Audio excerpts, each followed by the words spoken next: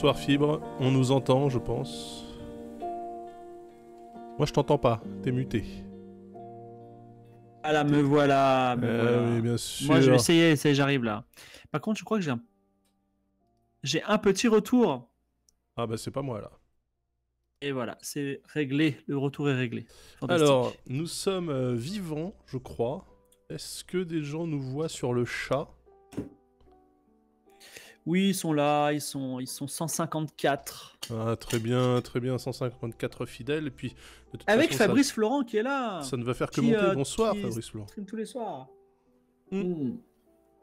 Alors, pour les aviateurs en herbe qui sont actuellement présents sur ce stream, je tenais à dire que cette chaîne de qualité sur Twitch s'enrichit d'un robot qui s'appelle Moobot.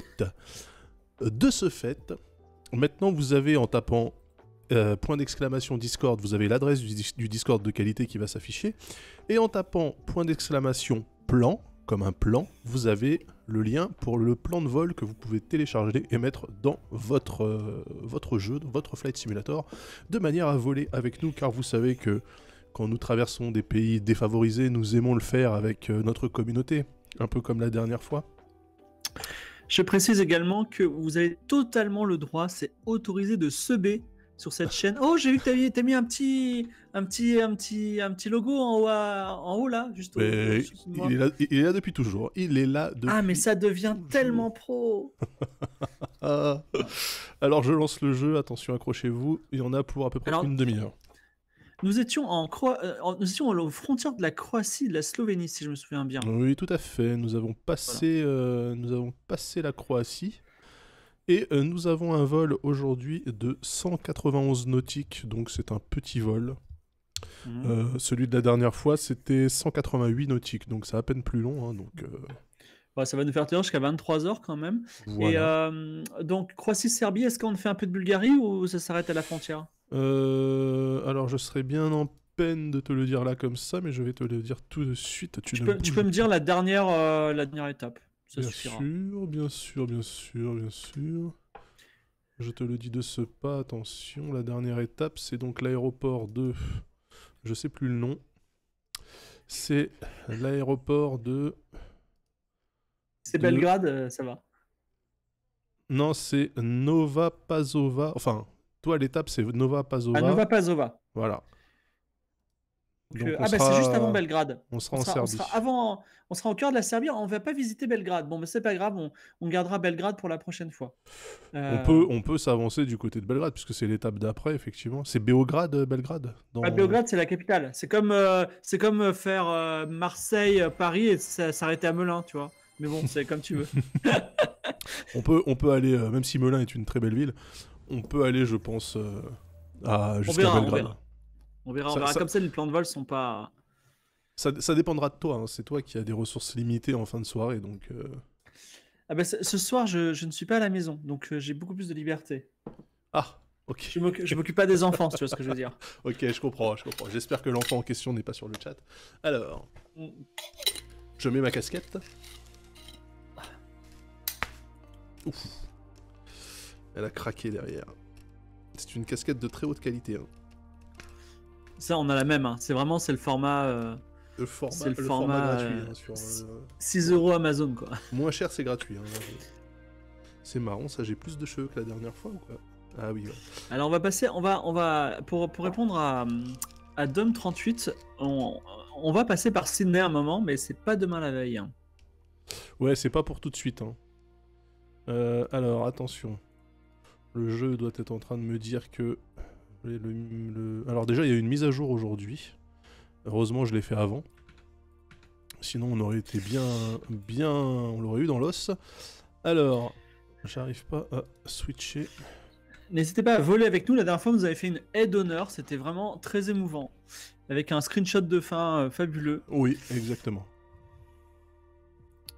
Je pense même qu'on devrait démarrer chaque session par le screenshot de fin de la session précédente. Ça permettrait de garder comme ça euh, des souvenirs. C'est important les souvenirs, vous savez. Le jeu n'apparaît pas par contre, hein. c'est bizarre ça. hein.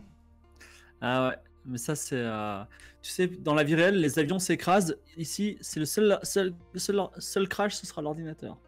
Et, Oui, non, euh, je, je ne pense pas. Je ne pense pas. Je suis confiant. J'ai la musique, mais j'ai pas l'image. Bon, ça va arriver, hein, vous inquiétez pas.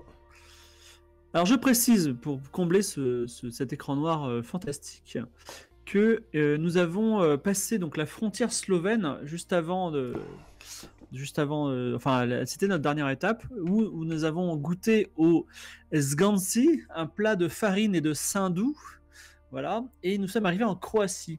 Alors la Croatie, c'est notre quatrième pays, sans compter la France, donc notre quatrième nouveau pays, et euh, normalement pas loin dès qu'on va décoller, on va voir un- normalement un lac magnifique qui est réputé, qui est très bleu.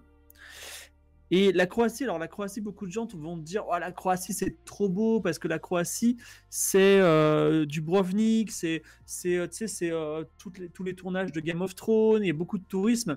Mais nous on va pas visiter cette Croatie là, on va pas visiter la Croatie de la côte. Ça serait trop On va- simple.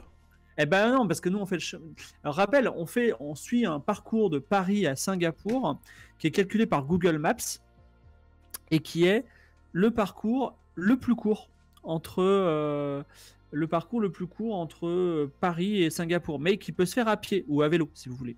Donc on suit ce parcours. Et donc ce parcours ne passe pas par la côte croate, mais passe par les terres euh, intérieures croates, c'est-à-dire le Grand Est croate, qui est pas très connu, qui est pas Jojo, mais il y a quand même des bonnes petites surprises.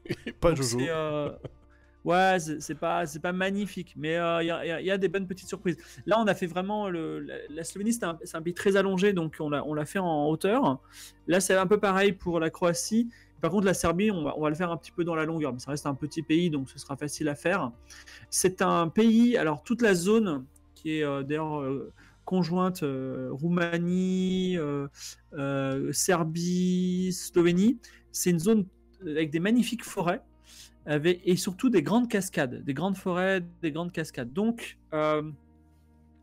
euh, Merci, Erax 5. Je fais tous les subs en ASMR. Merci. Erax Ah oui. 5. bah, Erax 5 vient de payer. Donc, euh, on aura l'occasion de voir de, de très beaux cours d'eau et de très belles, euh, de, de très belles, de très belles cascades. Et également, on va, on va Merci, même. euh, monsieur pas- Spook. Merci, monsieur Spook. euh, même comment Chut, ça se en passe, passer- ASMR, en ASMR. il va se passer des petits, d'accord, en ASMR. Il va se passer des petites choses aussi, c'est que on- parfois on passera devant des, des nids d'aigles, parce que les Balkans c'est comme un pays de guerre. Hein, si j'ai mis la photo euh, derrière De- les lignes ennemies, c'était De Voilà. Nico, de Nico Bellic. De Nico Bellic. Voilà, c'était pas, c'était pas simplement pour rigoler. Ça reste, c'est un pays qui a quand même euh, connu une guerre de notre vivant, Adaz et moi, euh, sauf si vous êtes des millénials, vous l'avez pas connu. Et donc, Merci, euh, c'est c'est un- doxal. C'est un pays qui est régi par un- une loi locale qui s'appelle le Canoun. Le Canoun, c'est euh, c'est c'est un peu les codes d'honneur qu'on pourrait. En, Corse, on pourrait imaginer qu'il y a ce type de choses. Bah voilà, ils ont ça. Donc c'est c'est des choses un petit peu particulières. Alors, euh, donc je le dis, euh, 191 nautiques, je réponds à 2-3 questions sur le chat. Alors, pour avoir ma config, euh, il faut euh, que vous subez à la, ma chaîne à moi et ensuite vous tapez une commande. Euh, est-ce que c'est le numéro 3 Non, c'est bien la session numéro 4. Et euh, est-ce que Fibre voit mon écran en direct? Non. Malheureusement, Moi, je- euh, Je Fibre vois pas l'écran en direct, mais je vois. Voilà. Il Ouais, voit le stream, hein. il voit le stream comme vous. Voilà. Euh, mais on n'exclut pas hein, de le faire, euh, de faire cette émission en présentiel euh, Oui. prochainement. Alors, je suis à Paris là, donc. euh, en plus, il est à Paris. hein, donc, euh, prochain, la, la semaine prochaine, si on est décontaminé, on pourra peut-être éventuellement faire ça au studio. Alors, attention, je lance. Et salut Mog, Mog qui est bien sûr membre de l'équipe de qualité. Alors Canoun, ça s'écrit K-A-N-U-N. Pas Canoun. Et nous partons donc de la piste de Varazdin. Je ne sais pas comment se prononcent les Z avec un accent circonflexe à l'envers. Ah ouais. euh, Pour, merci, pour Elias qui dit que pour Elias qui nous dit que Canoun ça veut dire si loi en arabe, bah en fait ça, tout ça c'est la même racine. Ça vient de canon. Quand on dit euh, par exemple que certains personnages dans Star Wars sont canons, ça veut dire que c'est pas qu'ils sont jolis, c'est que c'est qu'ils sont officiels. Voilà, c'est la loi. Donc euh, c'est parti en tout cas. Et euh, nous sommes en direction, donc euh, nous sommes en direction normalement euh, à 16 km d'ici, plein sud. On va aller à Valazdinsko Jezero. Eh bien, nous allons voir cela. C'est ça le lac Tu dont tu dire. parlais là? C'est un gros lac. hein. Ouais, c'est un, c'est un magnifique lac bleu. Le droit canonique, exactement. Alors ça se prononce Z. Alors non, là on va à Ludbreg, hein, mon ami. Ah, Ludbreg? Comment, Ouais, comment à cela se fait ça? C'est la première Ah non, étape. alors, euh, alors, non, non, on passe. Notre première étape, c'est le, le Varazinsko 0. Alors, je fais rapidement. Donc, en fait, on, on a suivi euh, la Slovénie depuis la Dra- avec, euh, de- enfin, a- depuis la Slovénie, on a suivi une rivière qui s'appelle la Drave, qui est une rivière très importante. Et donc, elle se jette dans ce lac qui était juste là, magnifique bleu qu'on voit sur notre droite. Oula, Et c'est un lac euh, au- autour duquel il y a des pins parasols et il y a des cigales. Donc vraiment, on se croirait euh, côte méditerranéenne, euh, Marseille, Toulon, Aix-en-Provence, tout ça en été. attends, Et, léger, léger freeze, hein, léger freeze, vous inquiétez pas, ça va, ça va s'améliorer. Voilà. Je, dans, ce, dans ce lac se trouve néanmoins quelque chose qu'il n'y a pas en Méditerranée, c'est des poissons-chats. Voilà. Et il y a beaucoup de petites, de petites cabanes en bois qui, euh, sont, qui font le, la joie des touristes russes essentiellement. Les, les Russes aiment bien arriver, euh, enfin ils vont à Saint-Tropez aussi, mais c'est un petit peu euh, leur petite riviera, j'imagine. Voilà. C'est beau. Alors, Zul Calibur nous demande si tu as activé les autres avions. Alors, je n'ai pas activé les autres avions, mais je peux le faire. Ils sont probablement en train de faire la, la, la, mise à jour de. Euh, oh là là, beaucoup de, beaucoup de freeze, hein, attendez, hein, c'est le temps que ça se mette en marche, euh, tout ça, vous inquiétez pas. Après, on va se stabiliser à 35 images par seconde. Euh, merci Draxix. Effectivement, Ludbreg est à 19 km. Voilà, c'est ça, donc euh, tout à fait. Oh là là, mais qu'est-ce que c'est que ce... Dites donc. Voilà. Encore un petit freeze Ouais, je sais pas, c'est lié à la, à la connexion Bluetooth, je pense. Alors j'en profite pour parler un peu de Ludbreg.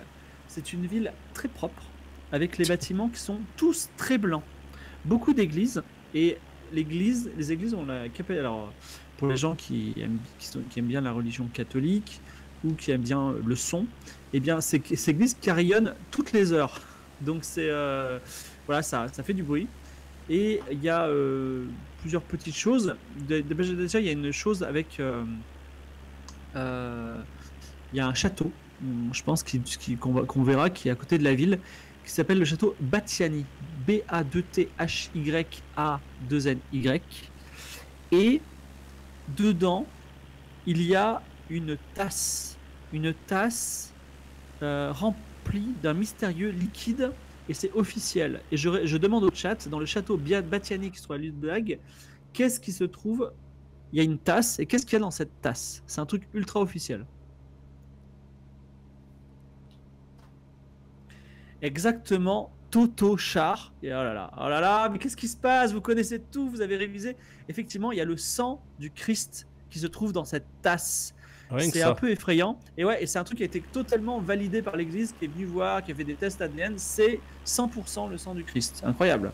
Mais attends, euh, Euh, Ça, ça- ça se conserve 2000 ans le, le sang? Écoute, je- nous ne sommes pas là pour discuter religion. Quand on va passer euh, devant le palais de Topkapi à Istanbul, où il y aura un petit poil de barbe de Mahomet, je pense qu'on va pas remettre en cause non plus. Donc, Non, On mais respecte les, les poils, les poils, enfin, les poils résistent autant, mais, euh, mais le sang, je suis pas sûr. Merci pour les subs, Volute Ludique. Une pluie, une pluie de subs. hein, bravo, Volute Ludique. ah, quel le bonheur des subs.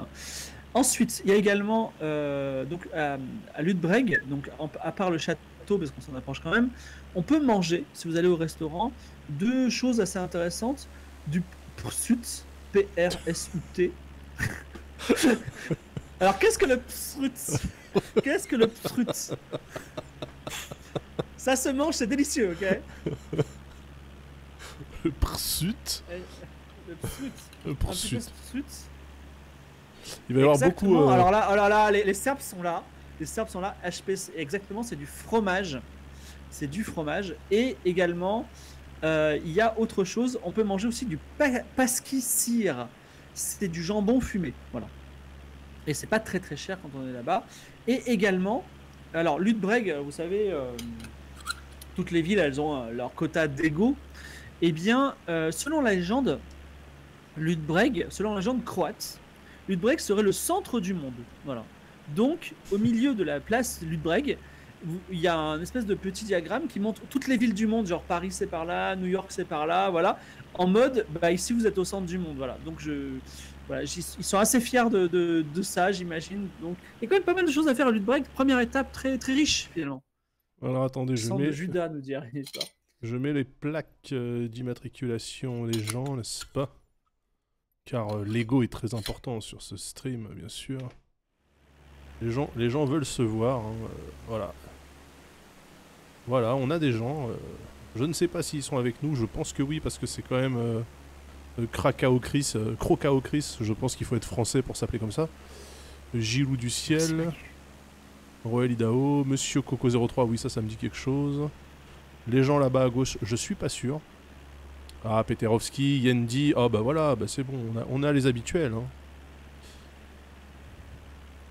Bien. Et on va, on va être de plus en plus, j'imagine. Oui. C'est très fédérateur. C'est marrant ces villages en, en longueur là depuis tout à l'heure. En fait, toutes les villes sont en long, je sais pas pourquoi. C'est euh, le long de routes et de rivières. Ouais, mais tu vois, ils, ils pourraient s'étendre, mais il reste. euh, Alors je veux bien qu'on essaie de choper quand même le, château de Batsani où se trouve. euh, Alors le centre du monde selon Sylvain Durif, je réponds à Soviet HBO, c'est plutôt euh, à Bugarak, mais une ville que nous ne survolerons pas malheureusement. Soviet HBO, c'est pas mal ça aussi comme nom, bravo. Ah, mais là je pense qu'on a tous les Slaves qui sont au taquet parce qu'on parle de la Serbie. euh. Tu vois, quand on va arriver à... Je pense à un moment on va se faire 3-4 streams en Turquie. Je pense que euh, les. Turcs seront là. Exactement, Cyborg Weasel, ça pourrait être Delphes, le centre du monde, se trouve une pierre appelée l'omphalos, qui veut dire le nombril en grec. On ne passera pas par Delphes, malheureusement. Par contre, quand on sera en dessous de la, Tur- de la Bulgarie, on va passer par un point qui est assez rare dans l'histoire de l'humanité. C'est un point de frontière triple, c'est-à-dire qu'à ce point se rejoignent trois frontières la Grèce, Oh. la Turquie et la Bulgarie. Du côté de, du côté de la Zambie, j'ai eu une quadruple frontière. hein. Oh là là Zambie, euh, Botswana, euh, Zimbabwe et je sais plus quoi, c'était c'était impressionnant. Alors je cherche ton château, euh, parce que là on est à Ludbreg. Je ne Ouais. le vois pas. Après, j'imagine que la Croatie, ça n'a pas été le pays Oui, le- d'ultra urgence en modélisation. C'est Par dommage. contre, j'ai hein. vu qu'ils avaient modé- là, l'update, elle, elle modélise de ouf euh, les États-Unis, paraît-il, et Ouais. euh, j'ai hâte d'y être. Ah, c'est peut-être le château là qu'on voit sur l'aile là, sur l'aile gauche, sur le stream. ça, ça, là-bas là Il y avait un truc sur l'aile gauche. Euh, nous voici en direction de à 11 km déjà vers Razinja. Razinja. Razinja, c'est une bourgade malheureusement qui a été détruite pendant la guerre. Et euh, elle a été reconstruite et elle est chaleureuse. Elle toujours, elle longe la rivière, la fameuse rivière Drave. Voilà. Et euh, donc la à Razinja. Encore un freeze. Hmm, tout va bien, tout va bien. Ne vous inquiétez pas, hein, tout Ah. est sous contrôle. même si à Razinja, il y a eu la guerre et euh, il y a encore beaucoup d'ininitiés et de stress, euh, Razinja, si vous voyez des. Des gens en treillis, avec des fusils, qui courent dans tous les sens, rassurez-vous, ils ne sont pas en train d'essayer de vous tuer, mais ils sont en train d'essayer de. euh, en fait, ils font de. La, ce qui se pratique assez localement là-bas, de la chasse aux sangliers, à la battue. Voilà les battues de sangliers. Alors ça tombe bien qu'on parle de ça, puisque je crois qu'il y a encore eu une personne qui s'est fait tuer aujourd'hui, ou il y a pas longtemps, lors d'une battue de sanglier. Non, non, en France, Ah, euh, par des chasseurs, alors que lui coupait du bois. Euh, J'ai lu la, la news il y a pas longtemps. Quel, euh, quel hasard incroyable. Voilà. Donc euh, le sanglier, comme on peut le voir, il y a les forêts sont denses, donc le sanglier doit être courant. Voilà.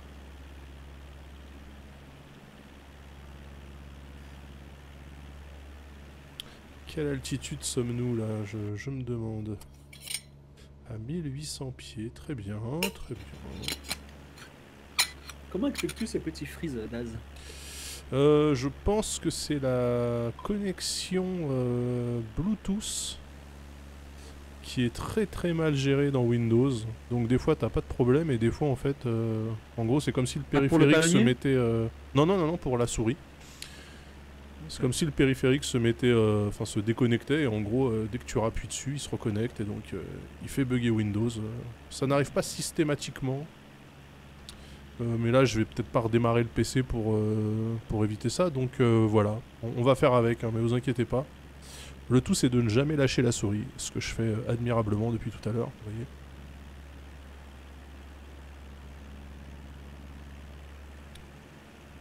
C'est très plat, hein, on peut le voir. Salut, c'est ici le voyage sponsorisé par le nucléaire. Et non, aux grandes dames de Fibre Tigre. Euh, Areva, donc euh, Orano, ne nous a pas sponsorisé un Fibre. T'as vu qu'ils ont parlé du nucléaire euh, sur, moi, sur moi, le en vrai, euh, je, je dis du bien du nucléaire sans qu'il me donne de l'argent. Euh, tellement. Et en plus, il habite sur une zone d'enfouissement de déchets radioactifs, donc c'est vraiment déjà. Ouais, ouais, bah. C'est toute la richesse de la Meuse. hein. Euh, Alors, figure-toi que. euh, euh, en Croatie, en Croatie, il y a des. Vous trouverez en Croatie. alors, fun fact sur la Croatie en, en arrivant sur Azinja. euh, vous trouverez des, euh, des éléments architecturaux qui viennent d'Égypte inhabituels. Question quels sont ces éléments architecturaux? Alors on arrive sur Razinja là, je pense. hein. Parce que le, Rosinja, la, la ville de la battue au sanglier. Le point, euh, le point a déjà, euh, est déjà parti sur euh, le. Alors, ils disent des pyramides, des obélisques, des statues de chats. Non, tout ça c'est faux. Exactement, c'est Borgwezel, des sphinx. On a ramené y- le, comment dire la, le- le- les, marchands divers au cours de- des- âges ont ramené 12 sphinx de pierre noire à Split. Ils sont authentiquement égyptiens.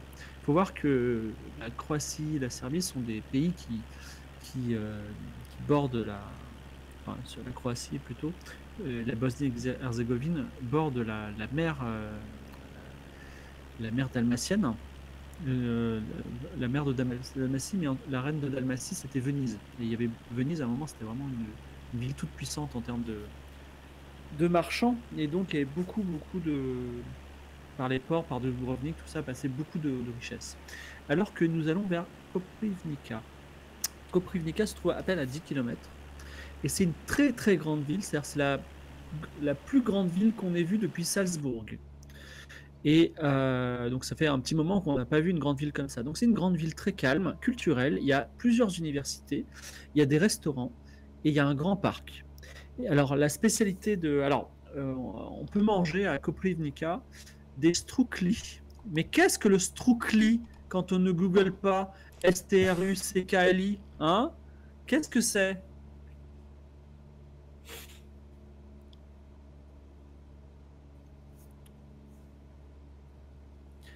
C'est que- un gâteau, nous dit Zulcalibur. Nous sommes encore en freeze, hein, mais vous inquiétez pas, vous inquiétez pas, tout est sous contrôle, euh, bien sûr. Alors, le stroukli, c'est une tarte au fromage frais. On, appelle ça un cheesecake dans d'autres pays, mais en Croatie, on appelle ça un, un. Et également, il peut, euh, il y a une. Alors, c'est c'est un peu compliqué, mais à Koprivnica, dans le parc, vous pourrez voir un spectacle vivant. Quel est ce spectacle vivant? C'est inhabituel, hein, c'est pas un truc qu'on souvent. Mais Koprivnica héberge un, un immense artiste historique de ce spectacle vivant. Quel est ce spectacle vivant? Ce n'est pas du théâtre, évidemment, CBA. Qu'est-ce que ce serait? Qu'est-ce que ça pourrait être? Un lancer de nain, des gens tout nus, pas du tout. Du mime, non plus. J'avoue, j'ai pensé au lancer de nain. Euh, comédie musicale, non. Ours de rue, Pépé Nécro, c'est interdit désormais, même en, même en Croatie, en Serbie.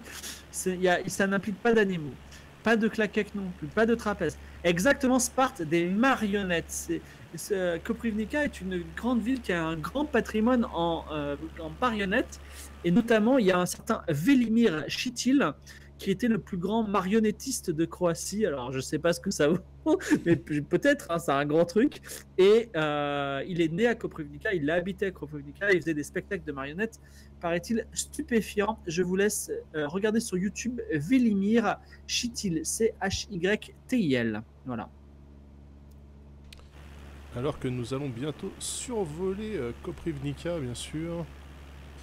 Koprivnica, une grande ville, hein, certainement. Ah oui, ça a l'air vaste euh, vu d'ici. Je regarde si j'ai un peu de Vélimir Chitil hein, sur YouTube. Vélimir Chitil. Meilleur sous-titre pour le stream, merci, merci Raja. Effectivement, euh, Oh. nous allons essayer de faire des jeux de mots euh, pour chaque émission à partir de tout de suite. Alors il y a effectivement euh, un spectacle de marionnettes qui a 2313 vues, donc j'imagine que c'était pas un truc. euh, voilà. Mais euh, mais c'était un grand truc, d'accord à l'époque, hein, les marionnettes? Bah, C'était le cinéma avant le cinéma, ma foi. hein. Ouais, ouais. Je sais pas si vous avez vu dans la peau de John Malkovich, Dans la tête même, je pense, non? Dans la tête de John Malkovich, ouais, ça, dans la tête de John Malkovich. Un Il cercueil grand marionnettiste. En vrai, Euh, en fait, on est là, on est, on est un peu, on est un peu circonspect euh, devant, euh, on est un peu circonspect euh, devant les marionnettes, mais si ça se trouve, on pourrait être dans un délire marionnette, ça marcherait trop bien, quoi.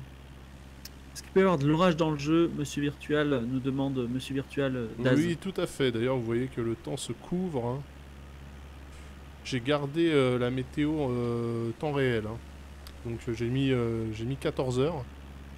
Mais vous voyez, 14 heures, quand on est au-dessus de ces pays-là, c'est comme s'il était euh, 32 heures à peu près. Ouais, et en plus, les nuages sont bien lourds. Ah oui, là, tu sens que euh, ils en ont gros sur la patate. Est-ce qu'on mange beaucoup de patates d'ailleurs dans, ce, dans cette région? Je présume que oui. Ouais, alors après, euh, c'est pas. La pomme de terre, j'imagine, c'est surtout pour faire de la vodka. bon. Ah oui, c'est vrai en plus. Mais non, mais ils peuvent, ils peuvent aussi la manger. Alors, qu'est-ce qu'il y a de beau? C'est joli, hein, c'est une jolie petite ville. Après, euh, ça doit être dur d'habiter là-bas. Moi, je suis allé, ouais, quand on est allé à, à, à Belgrade, c'était dur. À, euh, comment ça s'appelle? À Budapest, putain, c'était super dur. Ah bon? Et euh, ouais, ouais. Budapest Moi, j'ai préféré Belgrade à Budapest. Parce qu'au moins, Bu- Belgrade, t'as peur pour ta vie. Tandis que Budapest, c'est juste déprimant, mais touristique. Tu vois. Euh, Euh, ce, stream est, est- est légèrement franco- franco-centré, hein, au cas où vous l'auriez pas. Non, non, mais sans faire, sans faire du Game of Thrones 1979, quand je suis allé à Belgrade, il y a des passages, je me suis dit, je vais mourir, mais euh, mon âme est prête, tu vois. Mais vraiment, euh, c'était dur. hein. Je- Ah, Je, je raconterai ça quand on y sera. Je vais mourir, mais mon âme est prête. C'est vraiment le. Ouais, j'étais à, j'étais à, à 3h du matin, euh, en plein Belgrade, je rentrais tout seul. C'était dur. hein. Après, on ne demandera pas ce que tu fais dans la rue à Belgrade à 3h du matin. Bah en fait on était allé, euh, alors c'est une longue histoire, j'aurais plein de trucs à raconter, mais en gros on était allé une soirée. euh, il y a un truc, les Slaves quand ils font des soirées, c'est ouf. Ils font la fête comme s'il n'y avait pas de lendemain. Ça c'était, moi j'ai vu des concerts, euh, le, groupe monte sur scène, 4 heures après ils jouent encore comme des oufs comme c'était euh, l'intro quoi, tu vois. Donc euh, ça c'est bien, mais vraiment dans un, concert dans un hangar. c'était vraiment une partie hard un peu trop et je suis parti à 3h du mat et je rentre à l'hôtel qui était sur une péniche perdue sur le Danube et j'ai traversé la ville franchement avec des impacts de balles sur les murs partout euh, enfin tu vois des chiens errants des bidonvilles qui côtoient euh, des, euh, des immeubles ultra luxe vraiment je, je me suis dit enfin, tu vois, je me suis dit en vrai si je meurs je l'ai cherché quoi tu vois. mais c'était une expérience intéressante bref tout ça pour te dire est-ce qu'on est alors là on va à Novigrad Prodravski Podravski, exactement. 14 km. Voilà. Alors c'est un petit village qui, est, qui, se, qui se presse autour d'une forteresse ancienne et pittoresque. Voilà. Est-ce qu'on va la voir? C'est la question que je pose. Et euh, euh, je pense qu'on la verra parce que c'est vraiment le milieu. Et alors il y a une spécialité à Novigrad Podravski, c'est qu'il y a un cinéma en plein air. Un cinéma en plein air et également Novigrad Podravski dans la, cette forteresse a été tourné non pas Zora la Rousse, parce que Zora la Rousse, qui a inspiré les petites poules dans Game of Thrones, Zora la Rousse, c'est c'est plutôt du côté de Dubrovnik, mais là c'est un peu un clone de l'histoire de Zora la Rousse, et c'est un, feuilleton télévisé en noir et blanc qui s'appelle Les Porcs Sauvages, les porcs comme Vladimir, hein, les porcs sauvages, Et euh, c'est une sorte de Thierry Lafronde. hein. et euh, ça a été tourné là. Et un grand. Alors, les porcs sauvages, c'est un truc super lourd en Croatie. Les gens regardent ça. Et euh, les, euh, porcs sauvages, il y avait euh, bah, des sangliers d'ailleurs. hein, c'est vraiment une contrée de sangliers. Donc, les porcs sauvages. Et c'était. Ah, Il y a un acteur, l'acteur principal, qui est né aussi à Novigrad Podravski. Voilà. Alors, on va y aller, hein, on, va, on va y arriver. Un petit freeze parce que ça faisait longtemps, voilà, très bien. Donc Novigrad Podravski, parce que le, le waypoint est déjà passé au suivant, mais Novigrad Podravski c'est juste devant nous. Très embêtant cette euh, connexion euh, sans fil là qui me qui m'énerve. Tu peux pas faire un peu. petit pause et essayer de la corriger pour de bon Euh, bah non, malheureusement, euh, ce qui va se passer c'est que je vais déconnecter cette souris définitivement, comme ça on sera tranquille. C'est c'est trop bête parce qu'en plus, euh, comment ça s'appelle euh, Tu. euh, Enfin, je veux dire, tout est fluide. Ce serait con que ça. Ouais, non, non, oui, ça, Je regarde un peu les porcs sauvages. hein. ça fonctionne, mais Moi, la musique du générique. Les porcs sauvages. Alors ça fonctionne, ça fonctionne, oui et non, hein, ça fonctionne, ça fonctionnette, euh, ça fonctionne. Hmm, voilà, Euh, tout à fait. Donc euh, Novigrad Podravski, c'est devant nous. Voilà, donc est-ce qu'on voit la, la- la forteresse? Alors attends, c'est c'est un petit peu sur la droite, j'ai l'impression. Alors je ne comprends pas où est-ce que ça peut être sur la droite parce que, oula, alors que nous avons plein de gens qui nous rejoignent. Là, on est, euh, devant, hein. on est devant là, donc je ne vois pas de forteresse. Je sais pas si tu vois une forteresse, toi, mais euh, je vois même pas de route. hein. Ils, ont mis les routes en texture pelouse. Bon, bah, il faut peut-être euh, peut-être l'imaginer euh, avec toute la puissance de notre esprit. Alors que déjà, nous allons vers Durdevac. Alors, Durdevac, c'est un peu le Carcassonne de Croatie. Et de façon extrêmement de façon extraordinaire, euh, il y a euh, une légende similaire à la ville de Carcassonne et la ville de Durdevac. Et euh, le, symbole de la ville de Durdevac, une ville fortifiée, c'est le coq. Et les, habitants de Durdevac s'appellent fièrement les coqs de Durdevac. Et ils ont même des sortes de capes et des tenues avec des coqs dans le dos. Il y a des coqs partout sur les bannières. Alors, quelle est la légende du, du, du coq de Durdevac Je vais vous le raconter. L'armée ottomane, haussmanienne. Mais attends, on voit des, des petites voitures sur les, euh, sur les routes, c'est trop bien. Ouais, ouais, ouais. pas ils- ça avant Si, si, si, si, ils mettent. euh, Mais euh, il faut. Enfin. Quand tu regardes de près, tu te rends compte que c'est absolument n'importe quoi, mais de loin, ça fait, euh, ça fait illusion. Ok. Alors, ce que je voulais dire, c'est que donc. euh, Une zone de terre brûlée, hein. je ne sais pas ce qui s'est passé ici, mais c'était pas Jojo. hein. Ah, c'est la guerre, hein, c'est la guerre, c'est la guerre. ouais, non, mais Alors, là- Durdevac, la coque de Durdevac, l'armée ottomane se presse autour de la ville de Durdevac qui est assiégée. Elle mène un siège et la ville de Durdevac est affamée. Mais les Ottomans manquent aussi un petit peu de nourriture. Mais euh, ils, peuvent tenir encore 15 jours et à Durdevac, il n'y a plus rien à manger. Il n'y a plus rien à manger. Il ne reste qu'une seule chose, un coq. Donc les gens ils disent bon, il reste pas grand chose un coq, on va quand même le manger. Et là, tu as une petite vieille qui arrive, qui prend le coq et qui le balance par-dessus les remparts. Et euh, donc, qui fait que les gens aiment pas trop la petite vieille, mais les Ottomans, voyant euh, que euh, y a un coq qui est balancé par les créneaux, ils se disent putain, ils ont tellement de nourriture qu'ils nous balancent un coq pour nous euh, pour nous, Pour nous euh, tu vois, voilà, nous narguer exactement. Et ça les a totalement déprimés et ils sont partis. Donc, et la ville de Durdevac a été sauvée. Donc c'est pour voici la légende de la ville de Durdevac, elle existe aussi en France. voilà. Donc les coqs de Durdevac, c'est une, c'est une grande une grande légende croate. Alors c'est- j'en profite pour dire que euh, il y a en plus un spectacle euh, annuel, son et lumière. C'est une Durdevac, c'est une ville forteresse médiévale. Et euh, il y a euh, Donc c'est, mais, mais, mais qui a menti du coup? C'est Durdevac ou c'est plutôt Carcassonne c'est Durdevac, c'est la, la petite vieille. Elle a, elle, a, elle a fait, elle a dit, nous on n'a pas peur, on vous envoie le coq, alors qu'en fait ils n'avaient plus rien à manger. Ils ont. Non ils mais d'accord, mais je veux dire, non mais on sait, on sait que c'est du mytho, mais je veux dire, euh, est-ce que cette légende est au moins vraie dans une des deux villes? Parce que tout le monde, enfin t'as dit tout à l'heure que Carcassonne avait la même légende. Oui. Est-ce Eh ben, qu'il y en a pas. une qui a copié l'autre ou est-ce que les deux Alors, mitonnent euh? Alors sur le, alors déjà, ce qui est intéressant, c'est que sur le Wikipédia croate, euh, il y a toutes les pages elles sont dupliquées en serbe et les serbes détestent les croates donc ils disent c'est pas vrai tu vois donc voilà. Donc c'est compliqué. Et euh, je pense que les croates sont pas au courant que Carcassonne existe et de toute façon les français n'étaient pas au courant que c'est- ça existait. Donc c'est peut-être une un vieux conte qui est passé de ville en ville. En tout cas Durdevac est très fier de ses coques. Et euh, je voudrais dire une petite chose aussi c'est que le SMIC en Croatie est d'environ 500 euros. Et euh, c'est pour ça que quand tu es streamer, par exemple croate, ou euh, tu fais des petits jeux flash en, euh, en Croatie, en fait tu vis très très bien. Voilà. Ce que j'allais dire. Alors, qu'est-ce que ça dit? On est d'accord que l'autopilote fait n'importe quoi depuis les dernières mises à jour. Moi, je l'ai désactivé là parce que euh, je me suis dit, il va peut-être me jeter dans le, dans le décor. C'est pas impossible hein, que l'autopilote ait, ait pas apprécié la mise à jour, alors que Durdevac est actuellement sous nos ailes. Voilà. Alors, je vois pas les remparts. hein. Euh, c'est une ville médiévale. hein. Alors après, Ouais, et après, bon. C'est une ville médiévale, mais. euh, Mais en Croatie, quoi. Donc, euh, bon.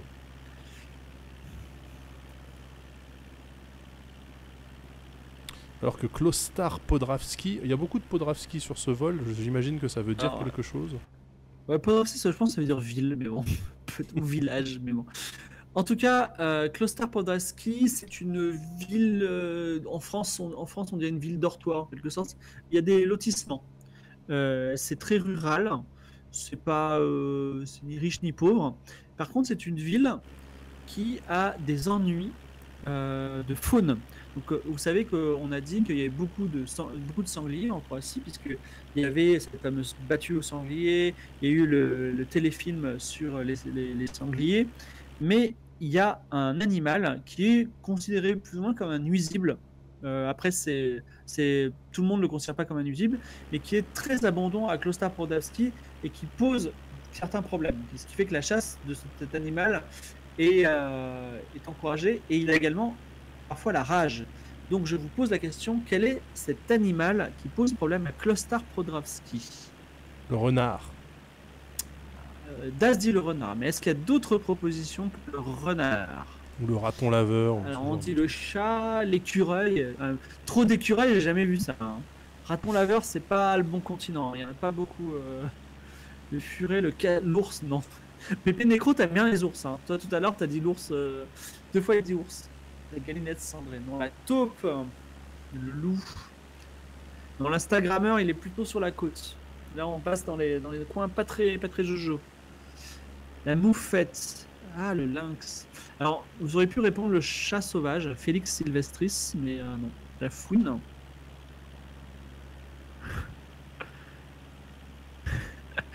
Il y a Canopus qui dit, alors je sais pas si c'est blague, qu'il y a une ville qui s'appelle Webejevo, comme Webedia.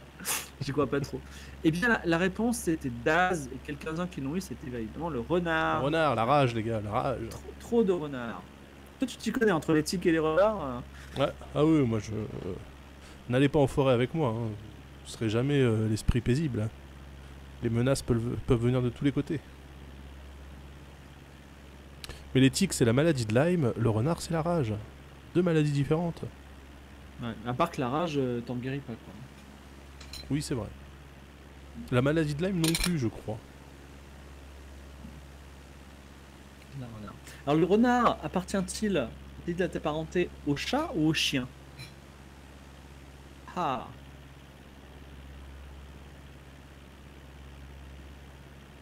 Lyme non plus, t'es fatigué toute ta vie. Voilà, c'est ça, exactement. Ouais, mais euh, la rage, tu meurs en 15 jours. Oui, mais la rage, t'es vacciné maintenant. Aucun des deux, des, au castor. C'est un canidé, voyons. Effectivement, c'est un canidé, le renard. ça- Moi, j'ai toujours pensé que c'était plutôt un chat. Et non, en fait, c'est un chien. Donc euh, Klostar Podravski, c'est le truc en bas là. hein.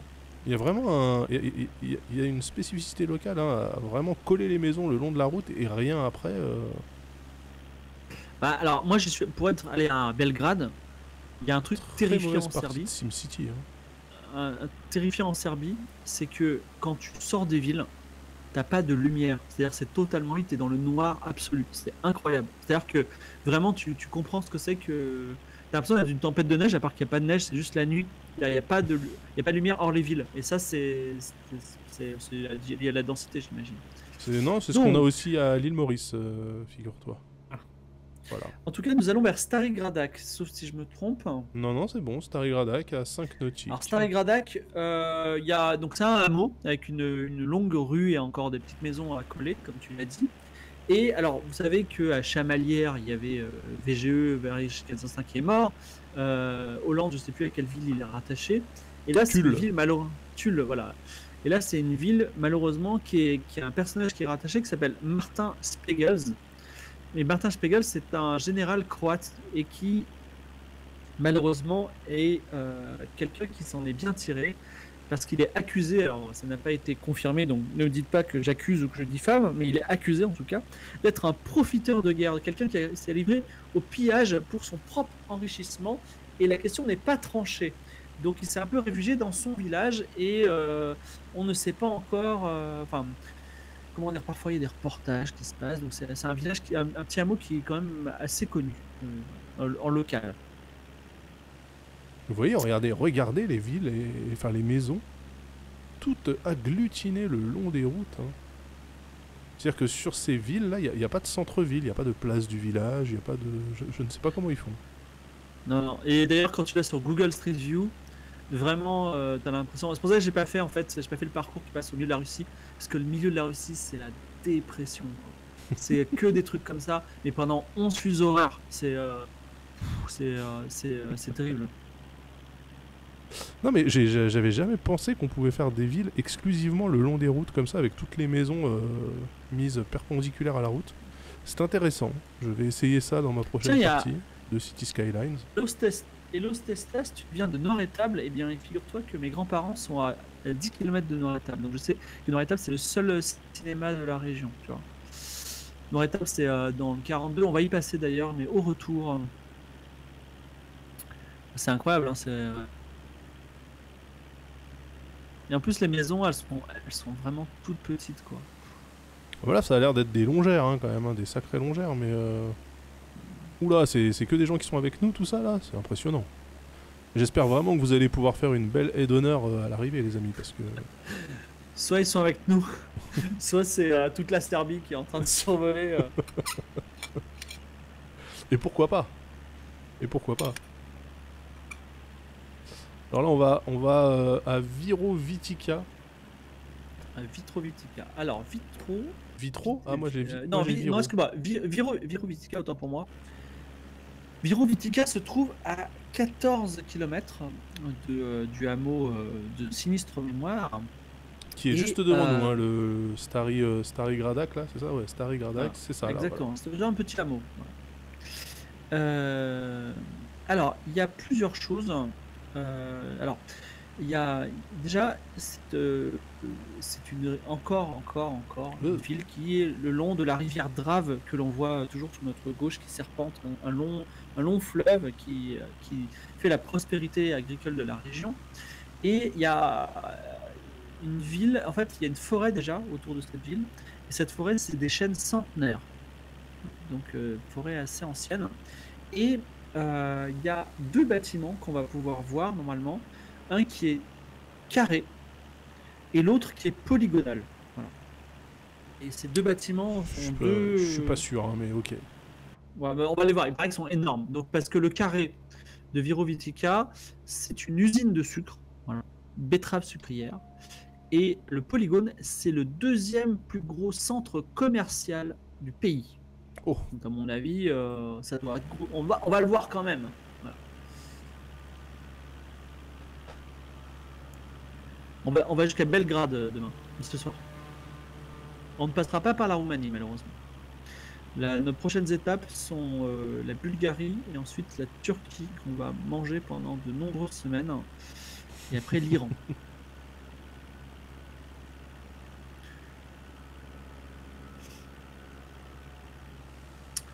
Ouais, une forêt bien dense hein, en dessous, là. ouais, des chaînes, euh, chaînes centenaires. Les chaînes sont sacrées. hein. Salut, Grondonnet.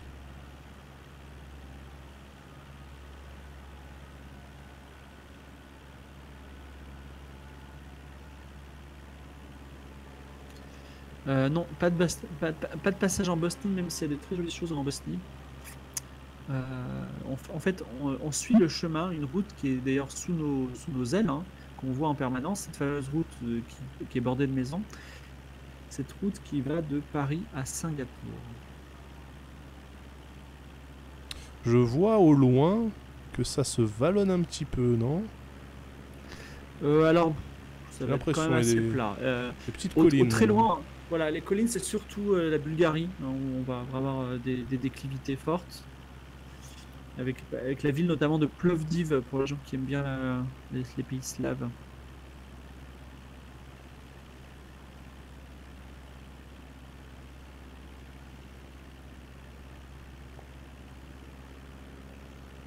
Roel Idaho, Nervesta, Jupitermang, Zoo. Et là, il y a beaucoup trop de gens derrière pour que je puisse vous nommer.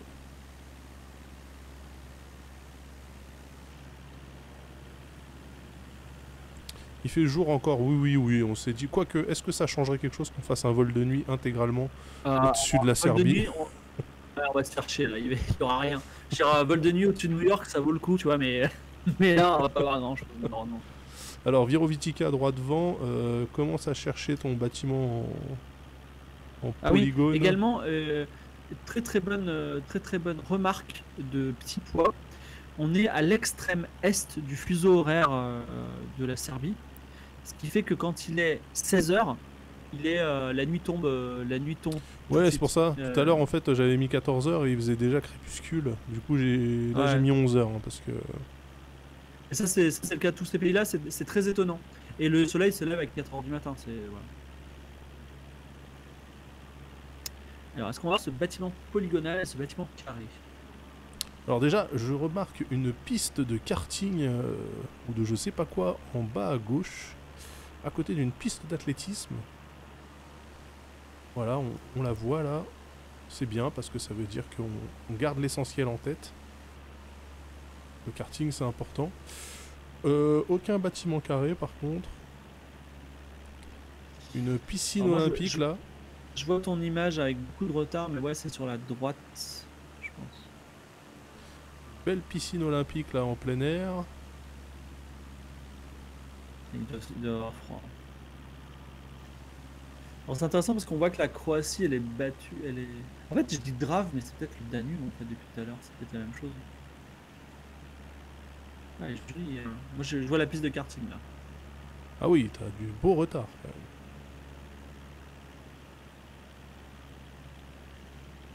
Euh, euh, Drave, c'est écrit avec un E, hein, je vous le dis, pour... euh, un E,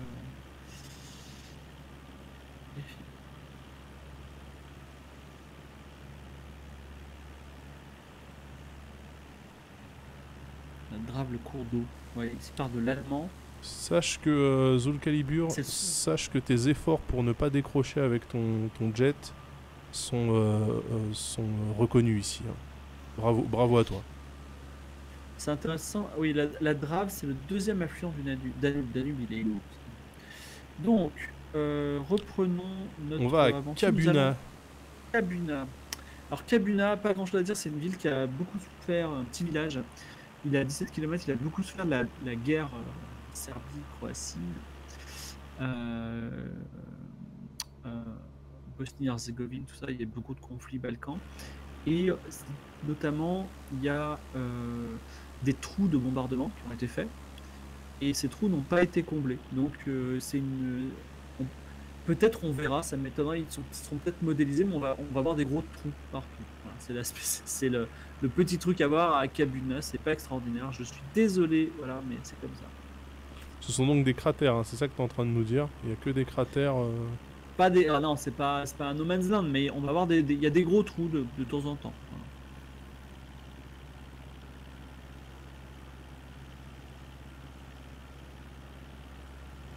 Je m'absente une seconde, je vais chercher des chips, mais je les mangerai pas près du micro, promis. Ça ressemble vaguement au Pas-de-Calais, nous dit euh, Cyborg Weasel. Euh, bah, disons que c'est plat, relativement verdoyant. Ça ressemble un peu à toute l'Europe occidentale, j'ai envie de vous dire. hein. Mais il y a quand même sur la droite des, petits, euh, des, petites collines, des collinettes, qui avec la lumière du soleil, là, ça, ça donne un- des couleurs très jolies.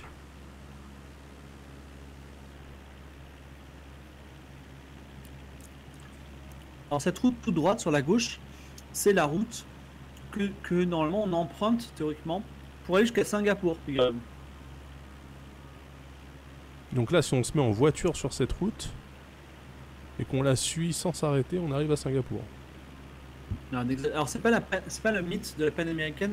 La panaméricaine c'est un c'est une route qui part de Lima au Pérou théoriquement qui va jusqu'à euh, Bogota puis qui reprend euh, en Honduras et qui remonte euh, jusqu'à New York.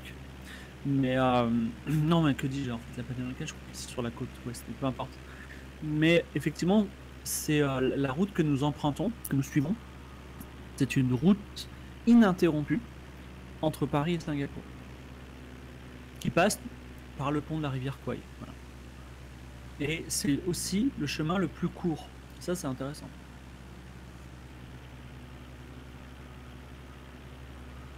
Nous sommes à 3 nautiques de Kabuna. Alors, remarque de euh, ils ont quand même une certaine manière de faire des chants très éthérés dans le sens longitudinal. Mais ceci, Odysseoni, si tu avais écouté la fiction audio Ornin, tu saurais que ça s'appelle de la micro-diversification. C'est-à-dire que tu peux faire un grand champ de blé et avoir du blé, mais si tu fais un grand champ, un grand champ de blé très allongé et que à côté tu mets un grand champ d'autres choses très allongées et ainsi de suite, tu fais des bandes, eh bien la diversification des plantes se nourrit et euh, tu as des haricots verts au goût de blé, et etc. Et, et tu as des plantes qui sont euh, de, qui se, qui se, comment dire, qui se cultivent mieux. On apprend, on apprend des trucs avec les fictions de qualité, hein, voilà. Oui, bien sûr. Euh, Alors que nous sommes toujours en route vers, vers Kabuna. Kabuna, alors Kabuna, euh, le point a disparu, donc on va passer dessus. hein, On est vraiment pile euh, sur le rail. Parce que le, le point de passage suivant est déjà visible, qui est Slatina. Kabuna et Slatina. Ça fait pas du tout, du tout croate. hein.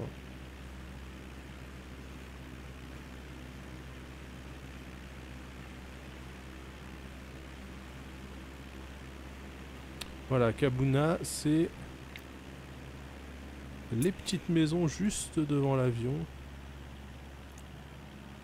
Voilà. Je n'ai pas vu a- de. Y a des trous? Bah justement, je, je vais me mettre. Les en- trous sont voilà. près des routes, malheureusement. hein, mais bon. Alors, question de Solideux. Y aura-t-il des épisodes spéciaux sur les pays hors trajet comme Japon, Nouvelle-Zélande, encore les Caraïbes?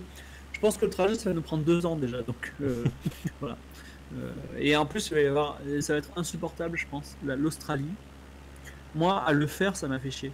Il n'y a rien. Parfois, il y a 800 km, il y a, et vraiment, il y a un arbre. Et euh, c'est le seul truc. Par contre, il est ultra documenté, l'arbre. Mais, euh, Zéro, euh, zéro cratère de bombe ici, hein, en tout cas. du côté de Kabuna, je suis un peu déçu. Ah, Il y a un Alors. terrain de foot. Mais voilà, nous allons vers Slatina. Slatina. Alors, Slatina, encore une ville marquée par la guerre. Il y a beaucoup de monuments morts, mais il y a aussi une très grande diversité ethnique. C'est-à-dire, c'est une ville où il y a beaucoup de gens qui viennent un peu de tous les horizons, de tous les pays environnants, Roumanie, Bosnie-Herzégovine, etc. Et, euh, et cette ville est célèbre parce qu'il y a au milieu de cette ville quelque chose qui est d'une taille exceptionnelle, une taille énorme. Qu'est-ce, que, qu'est-ce qui est au milieu de cette ville et qui a une taille absolument extraordinaire? Extraordinaire. Ah, Le pilote automatique fait vraiment n'importe quoi. Alors un plug de Shingi, une patate, une fontaine, une église.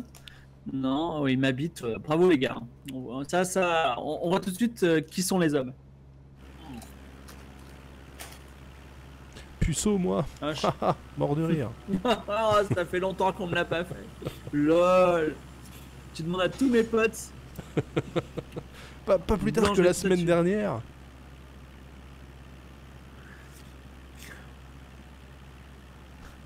Franchement, ce texte, Il est je sais incroyable. pas si, je sais pas si c'est spontané ou si c'est un mec qui fait style, mais dans les deux cas, c'est c'est du génie. Bref. Euh,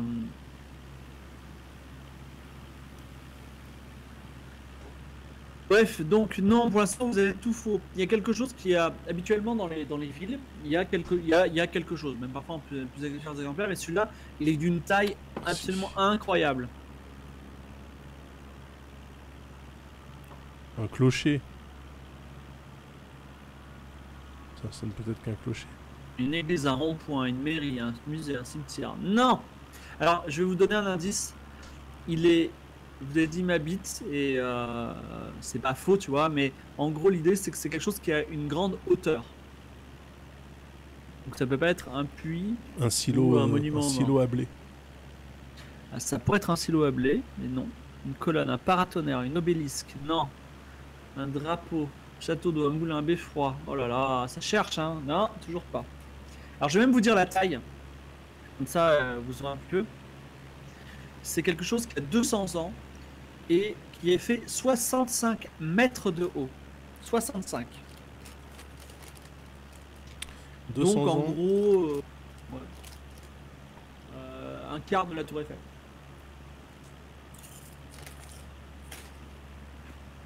Je vous rassure, on le verra pas, je pense, mais bon. Et Silver Sisu a gagné, c'est un arbre. Un arbre de 65 mètres de haut, c'est un séquoia géant qui a été planté il y a 200 ans. Donc imaginez le séquoia, c'est quelque chose qui vient quand même des États-Unis. Donc quelqu'un a ramené une putain de graine de séquoia au milieu de Slatina, il l'a planté en euh, c'était en 1800 et euh, il, a, il a grimpé, il a grimpé, maintenant il fait 65. C'est un, c'est un arbre qui est extrêmement respecté, il ne faut pas s'approcher, euh, le toucher, graver votre nom dedans, c'est très mal vu. Voilà. Alors je le cherche, mais je ne le vois pas. hein, je- À mon avis, il sera pas modélisé, mais bon, voilà.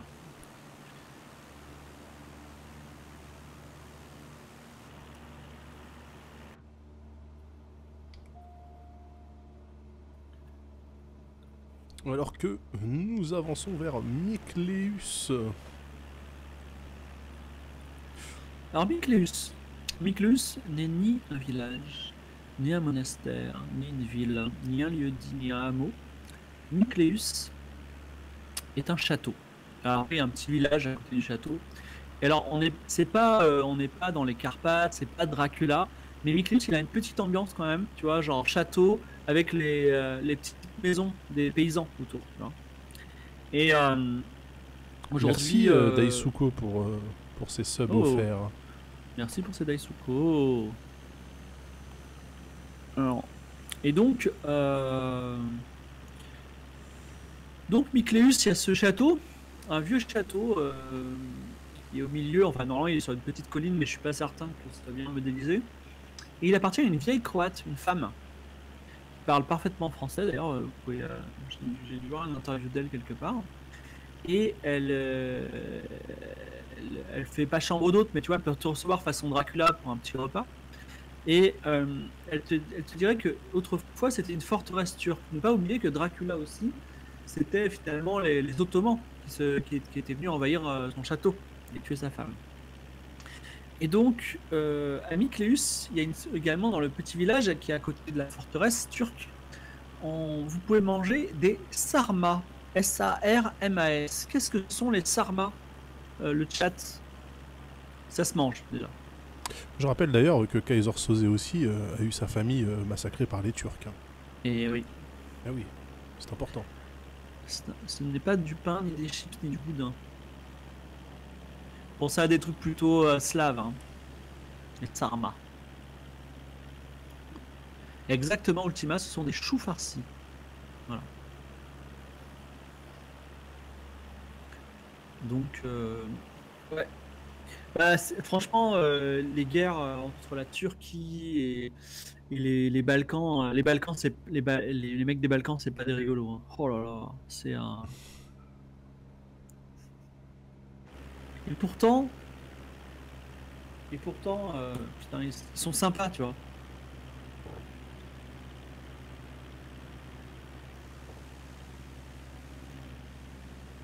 Bon, c'est très très euh, forestier hein, sur la droite, c'est très joli. Et donc là, moi je suis désolé, mais j'aperçois euh, ce qui ressemblent à des trucs de neige un petit peu sur les montagnes au fond, là. enfin sur les montagnes. Parce que, parce que à gauche c'est maxi plat, mais à droite ça vallonne. hein. Canoput, nous dit la Roumanie c'est comme ça que des fois sur la du pays. Exactement. Euh, ouais, j'aurais aimé faire la Roumanie, mais franchement c'était un gros détour. J'aurais aussi adoré faire l'Arménie, mais là aussi énorme détour. Pourtant c'est magnifique l'Arménie. Mais bon, voilà. Un moment on peut pas faire des détours. euh. Ouais, il y a des petits petits vallons. ouais. Mais en fait, il y a tous ces vallons à, à, à- à l'ouest. Ah oui, moi j'aime euh, j'aime les reliefs. quand on passe de l'autre côté, et ben là c'est la mer. Alors je cherche hein, donc euh, ton château là, mais euh, T'es roumain, euh, Canoput Oh, j'aime bien la Roumanie.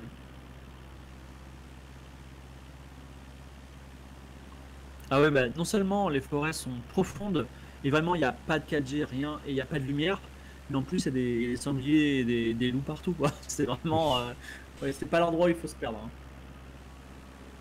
Alors. Euh. alors attends attends là, on est sur Micléus, je cherche le le château, Ouais, la place forte. le- Si tu vois le, le grand château qui normalement euh, domine le petit village, forte Ouais, je, je vois pas, je vois pas de colline déjà, donc ça m'embête un peu. Bon après, euh, c'est une petite colline quoi.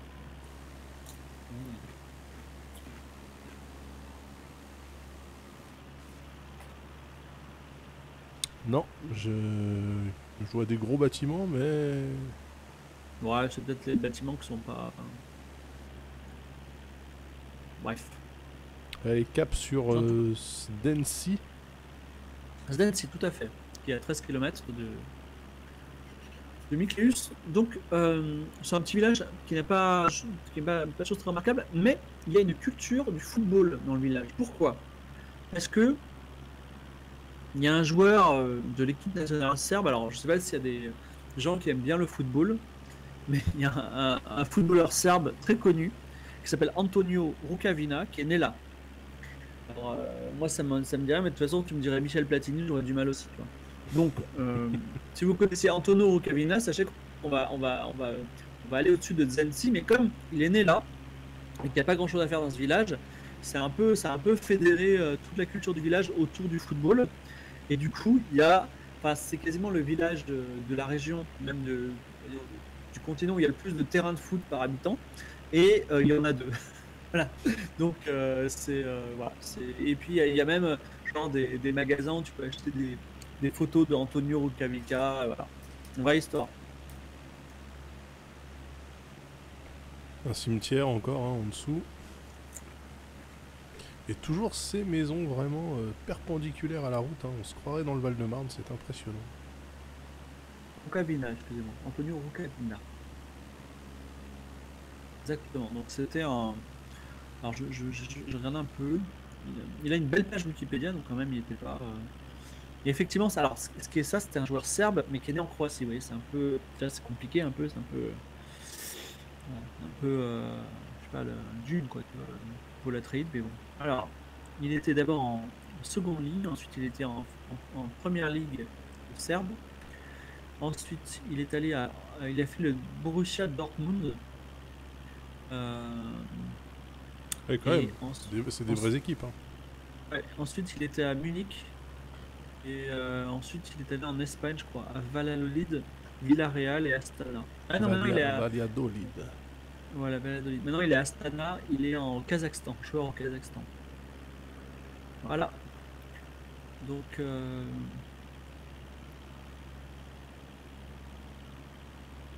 Ah, je vois que Monsieur Spook a vraiment fait un, un point d'exclamation config sur ma chaîne perso. Mais en fait, euh, comme je stream pas, euh, le robot, le bot est pas actif, malheureusement. Je suis désolé pour le Palax, je sais qu'on.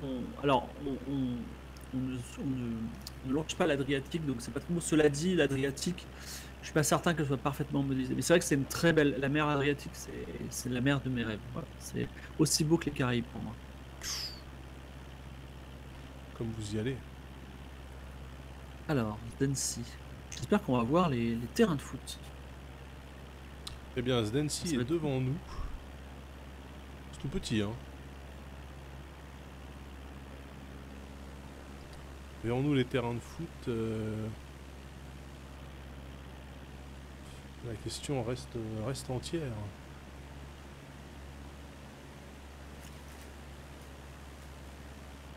Une anecdote sur Adriana Carambeau, je, je ne sais pas.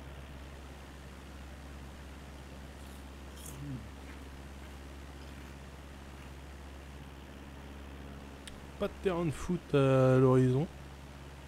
Alors si, il y a plein de rectangles un peu partout. C'est peut-être des mini terrains Ouais. de foot, je ne sais pas. Un petit parc là. Ouais, ça doit être ça. C'est marrant parce que parfois ils modélisent les arbres comme des cyprès et des fois plutôt comme des, euh, des arbres feuillus, c'est marrant. Ouais, c'est l'intelligence artificielle qui fait ça totalement au pif.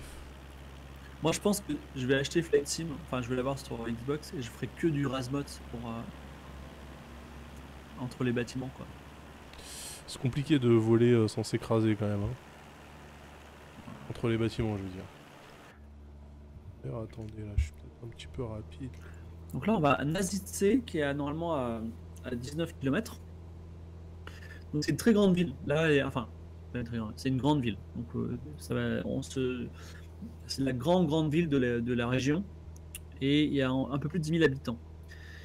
Et euh, il y a des centres commerciaux, il y a des groupes industriels, il y a des parcs et il y a également un château jaune, du jaune tyrolien qu'on a vu euh, beaucoup euh, dans le sud de l'Autriche, si je me souviens bien.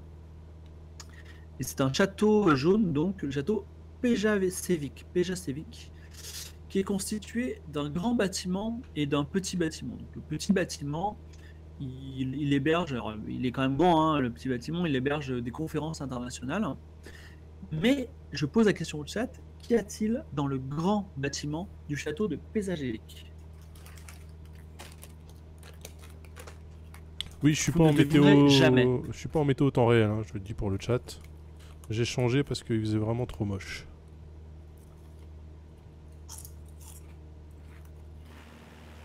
Alors je vais essayer un truc.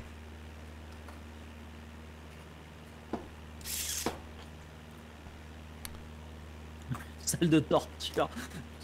Les gens. Un centre commercial, non, c'est un château quand même.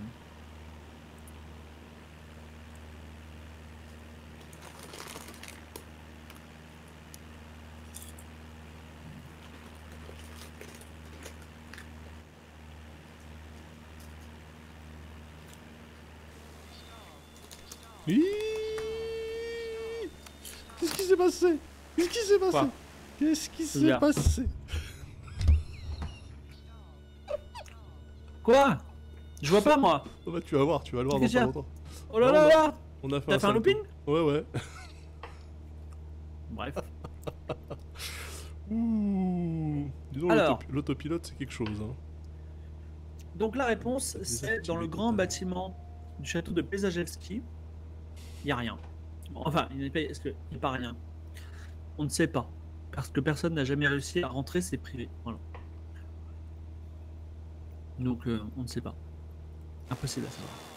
Ah ouais d'accord, ok. Le mode vitrine aussi euh, est- pose problème, hein. c'est bon, c'est bon à savoir. Très bien. Ok. Incroyable.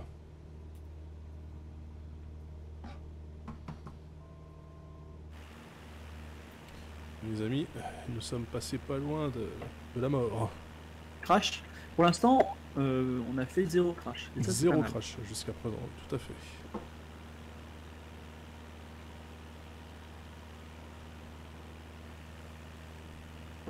La science du pilotage, les amis, la science du pilotage. Alors.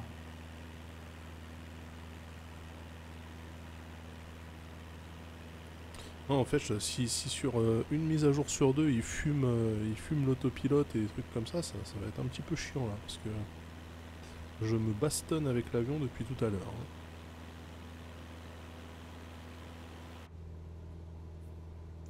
Peut-être euh, qu'il y a des, vents, des vents contraires. Non, non, là c'est là c'est le trim hein, qui est la compensation euh, du tangage là qui fait n'importe quoi.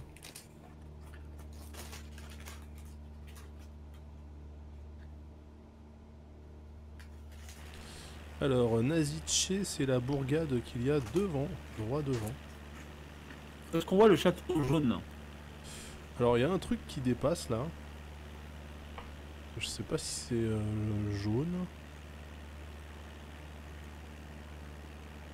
Oula. Oula là là là. Qu'est-ce qui se passe Mais t'as des courants d'air ou quoi? Non, non, non, non, non, c'est. T'inquiète. Alors, là, il y a. Non, c'est pas jaune, hein. il y a, il y a pas de château jaune. hein. Il y a même pas de château d'ailleurs. Hmm.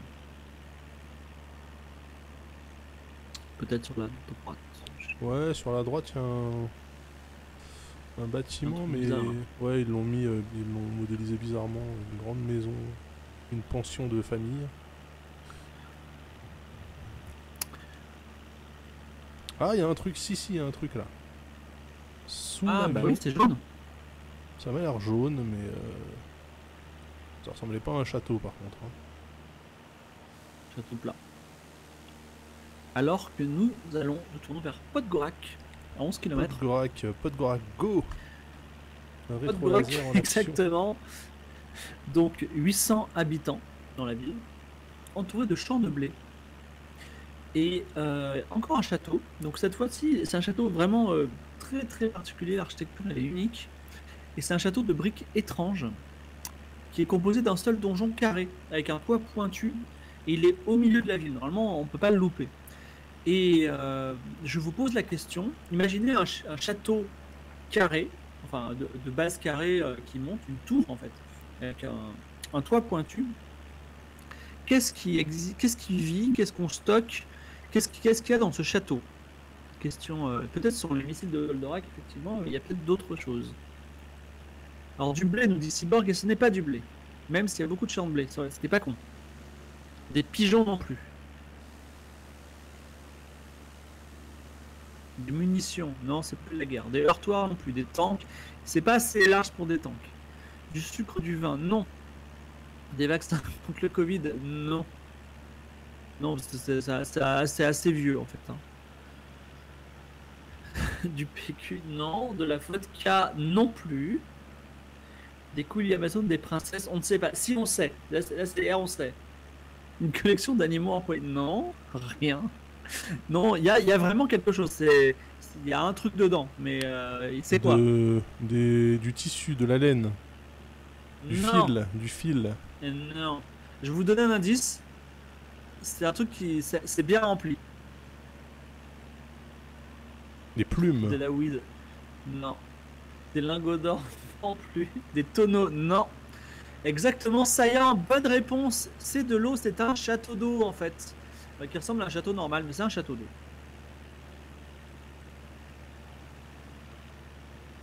Alors c'est droit devant nous.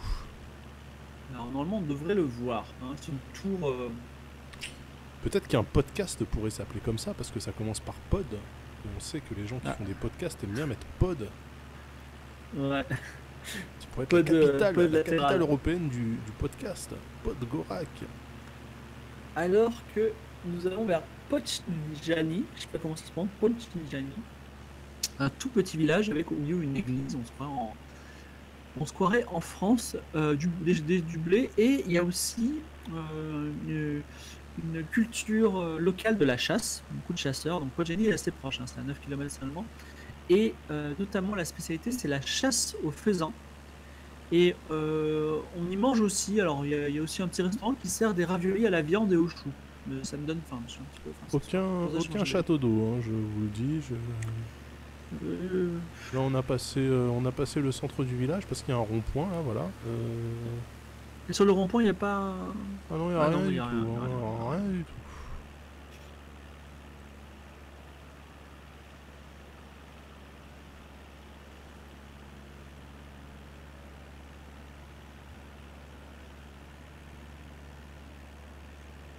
Non, j'ai rien inventé, c'est la vérité. Bon, je, je prédis que après la ville de, euh, Podjani se trouve un bâtiment important que nous pourrons voir.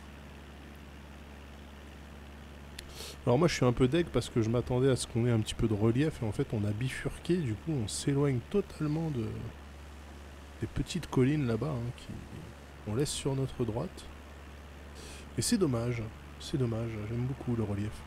Tout s'est bien passé pour l'instant, pas de crash, absolument aucun crash. Pas de crash depuis 4 semaines. Ouais. Fantastique. Depuis, euh, depuis le décollage.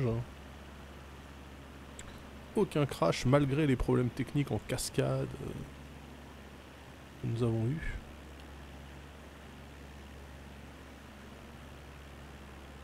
Oui, mais non, euh, nous dit. Alors, Paul, Paul DLS me dit tu peux aussi désactiver les options de simulation. Bah non, l'intérêt quand même, c'est que si on s'écrase, on s'écrase un petit peu. Je veux dire. Faut qu'il y, euh, y ait du challenge.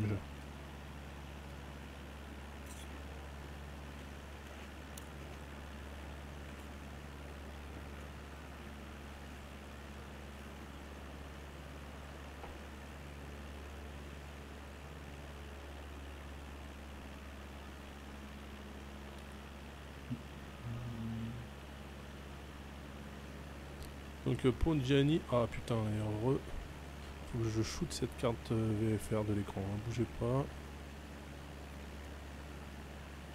Ah, il faut que tu rebranches ta souris du coup. Ouais, je l'ai, je je l'ai reconnecté, c'est pour ça que ça bloque là. Très très chiant ça. hein. Si j'avais su, j'aurais rebooté quand même, mais bon. Alors, nous nous dirigeons à Voilà. 14 km se trouve Dakovaka. Dakovaka, c'est au milieu de Dakovaka, dans une ville, hein, il n'y a pas grand chose, mais il y a un monument impressionnant comme on n'en a pas vu depuis Ulm, ou ULM, tu choisis comment tu prononces, c'est une Ulm. cathédrale immense normalement. Cathédrale. Et c'est pas n'importe quelle, c'est c'est la cathédrale Saint-Pierre, et c'est une cathédrale qui est, qui est grande. Et en plus, normalement, elle se dresse au milieu des champs. Et elle est en briques rouges, rouge vif. Et euh, donc, c'est c'est une vision assez, euh, assez incroyable, presque une vision de jeu vidéo ou de roman de fantasy, où tu, tu traverses au milieu des champs et tout d'un coup, tu as cette immense cathédrale. euh, pas dans une ville, mais euh, dans un, au milieu de nulle part, quoi, en quelque sorte. Donc, c'est assez. euh, assez impressionnant. Et donc les bas-reliefs racontent l'histoire de la passion du, Christ. Vous pouvez y prier Saint-Pierre, qui vous apportera peut-être les portes du paradis. Et il y a également une crypte dans laquelle se trouve le tombeau d'un évêque. Voilà.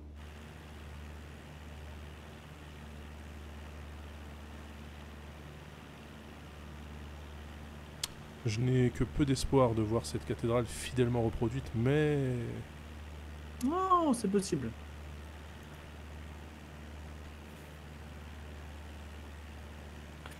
Alors, est-elle catholique ou orthodoxe? Je pense qu'elle est catholique.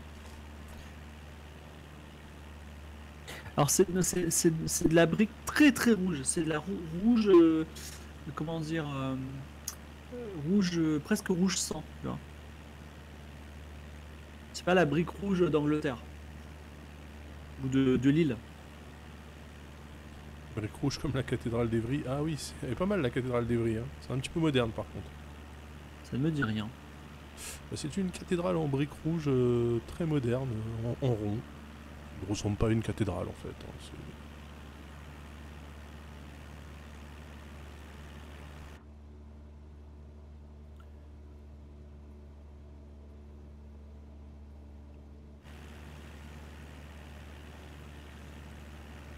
Sinon là comme ça, hein, franchement, quelqu'un prendrait le stream en cours de route, on lui dirait on est quelque part dans la brie. Il nous dirait oui c'est vrai. Ah non, peut-être pas de ce côté-là. Ce côté-là. là. Ça, c'est la Ferté à l'aise, hein, je vous le dis, ou la Ferté sous-joueur, ou la Ferté, qu'est-ce que vous voulez. Ouais, non, c'est quand même très rural. hein.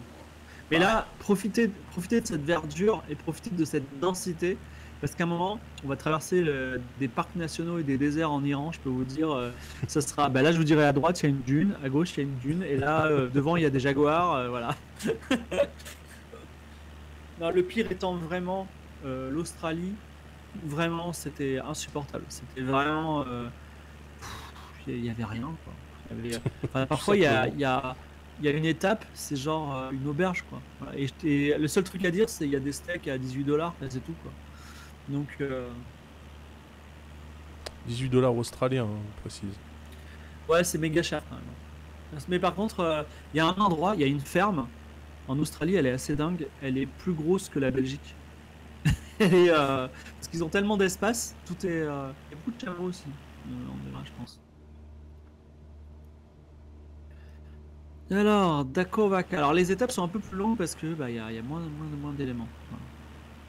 Alors, Dakovaca, est-ce qu'on aperçoit une cathédrale rouge? J'aperçois un truc rouge. Euh, plutôt. Alors, quoi, la euh, gare rouge, exact? Ouais. Ah, à rouge gauche, Ouais, à gauche de la ville, il y a un gros truc rouge là-bas au fond, mais. Enfin, les gens, les gens commencent à croire que j'étais un mytho. Non, mais je, je trouverais ça étrange qu'on mette une cathédrale à l'extérieur de la ville. Donc, Non, si, si, j'ai dit, elle est, justement, elle est au milieu des champs. Elle est incroyable. Ah. Elle est au milieu des champs de blé. C'est euh, complètement bizarroïde. Eh bien, on peut Mais essayer. de- Ça s'explique aussi parce que euh, les, les- comment ça s'appelle les, euh, les, euh, les les villes ont été détruites et reconstruites. Ouais, euh, Colagaro dit que l'Australie c'est grand comme l'Europe, mais avec la population de Paris, c'est même plus que ça. C'est euh, il y a 98% de la population qui est sur 2% du territoire. C'est incroyable.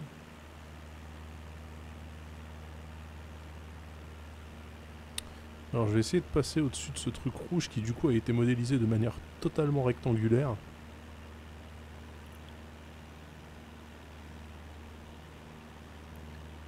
C'est pas Hmm, dit hein, que, ça soit ça.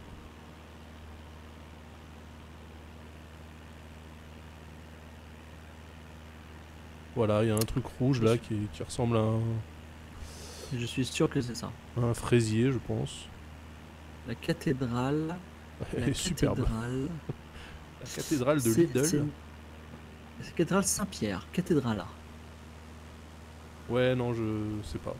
Merci Grachide. En même temps, ça n'a rien à faire là, ce bâtiment, donc j'imagine que c'est un- une modélisation à la Zob. euh. Ce serait bien possible que ça soit ça. Alors. Et nous, nous dirigeons, alors c'est un peu loin, 25 km en, ligne droite quand même, les routes sont bien droites. Et on va vers Invankovo.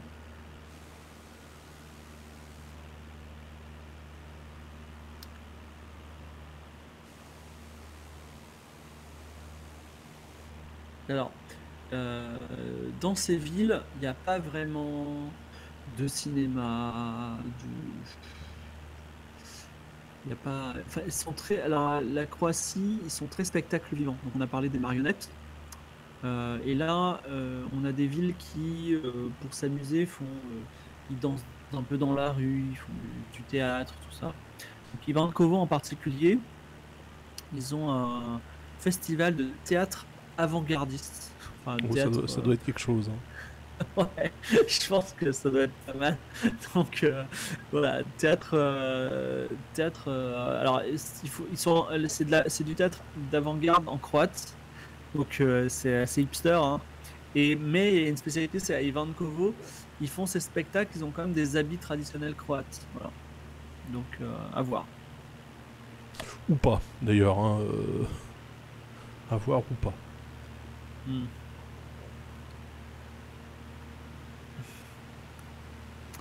En fait, la La Croatie, c'est comme le 77, exactement. Alors, moi je connais pas le Zéro. 77. C'est où C'est quoi le 77 Bah, c'est la Seine-et-Marne, hein, c'est comme ça. C'est c'est ça que Ah. je disais. hein, c'est la Brie, c'est c'est la Ferté, euh, la Ferté-Alais, la Ferté-Sous-Jouarre, euh, euh, Provins, Coulommiers, euh, voilà, tous ces bleds là. Salut Samora de qualité, comment vas-tu? Hmm. Bon, comme le, le chemin jusqu'à Ivankovo est un peu long, on va faire un petit quiz sur la Croatie.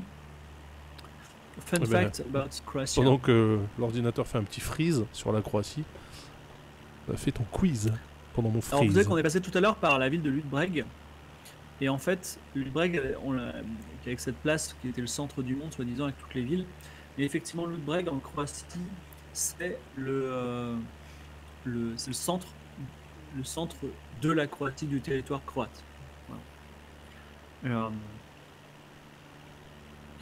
et donc, euh, normalement, on est passé. Alors, je sais pas si on est passé à Vinkovski ou elle est devant nous.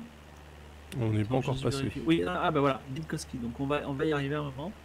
Et euh, alors, ce que, ce que- un truc qui est assez incroyable, c'est que c'est une, c'est la ville, c'est une des villes qui a été continuellement habitée pendant le plus longtemps en Europe. C'est-à-dire qu'il y a eu des gens dans cette euh, ville de Vinkovski, juste après Ivankovo, depuis 8000 ans. Alors qu'il y a eu quoi? Il y a 2000 ans, c'était Jésus-Christ. Il y a 4000 ans, c'était l'invention de l'écriture avec les Sumériens. C'est-à-dire que quand il y avait les premières villes Ur euh, en Mésopotamie, eh bien, il y, avait des, il y avait des gens qui habitaient à Vinkovski déjà, au début de la création de l'écriture. Et qu'est-ce qu'ils ont fait de, de tout ce temps, du coup? Rien. Même pas Bah, une légende, même pas un prophète, rien. Si, si, et quand on sera, quand on sera à Vinkovski, je vous en parlerai. Également, alors, vous savez qu'on a parlé de la mer de Dalmatie. Mais euh, les amateurs de, de Walt Disney savent qu'il y a un dessin animé sur des Dalmatiens, qui sont des chiens, avec des petites taches.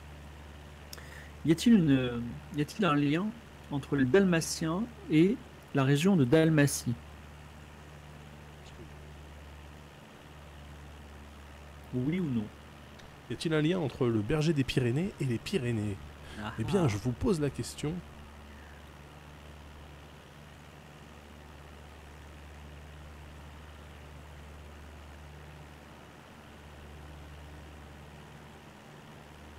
On a même François Courtis dans le chat, c'est incroyable ça. Oui, ouais. François Courtis, bah de toute façon, euh, François Courtis, dès qu'on parle de slave, il est, il est au taquet, quoi.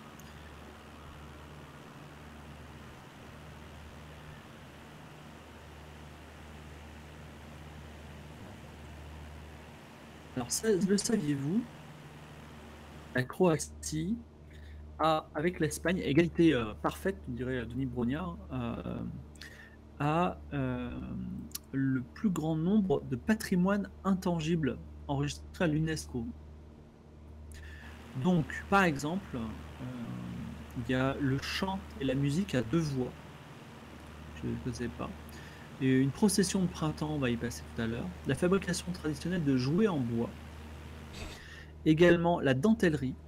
La marche des sonneurs de cloche du carnaval annuel. La fête de Saint-Blaise. Et également, euh, qu'est-ce qu'il y a d'autre? Un tournoi de chevalerie qui s'appelle le Shinja Alka et l'art du pain d'épices. Euh, Qu'est-ce qu'on a d'autre Euh, Il y a beaucoup de chants à deux voix, je sais pas ce que c'est, mais bref. Les chants à deux voix, c'est les chants polyphoniques. C'est les, Euh. les- les polyphonies, c'est c'est plus que deux voix, c'est genre quatre ou cinq voix. Ils font deux voix tout seuls ou Bah non, il y a deux chanteurs quoi. Ils chantent en canon, je sais pas. Je regarde. Tu sais euh, d'ailleurs, euh, Fibre, qu'avec la commande euh, Paul, tu peux faire euh, des quiz hein, avec les gens qui votent. euh, Donc je fais comment? Slash Paul? Tu fais non point d'ex- euh, non euh, slash Paul, ouais t'as raison, slash Paul. Ouais. Après il va te dire euh, pose ta question, mets les réponses possibles et les gens vont vont, vont voter. Paul. Parti. PO2L hein, bien sûr. Ah bah fantastique, c'est beau, c'est Moodbot qui fait ça? Non non c'est Twitch, euh, c'est natif ça. Ah, c'est chouette. Bah, je le saurai pour mes propres euh, sondages. Alors que nous passons de- au-dessus de Ivankovo, donc la fameuse ville euh, qui. Bah, maintenant, je vais faire ça pour chacun, je vais faire des sondages, hein, parfait. Ivankovo, donc la, la ville à flanc de colline entourée de champs, avec euh, une population plutôt jeune qui, qui fait ses, ses- représentations de théâtre d'avant-garde. Alors que tu vas obliquer, je pense, légèrement sur la droite pour aller à la fameuse Vinkovski, Qui est la ville- oui, Vinkovski, Vinkovski. Donc c'est c'est une très grande ville quand même, vous verrez, avec des grandes allées.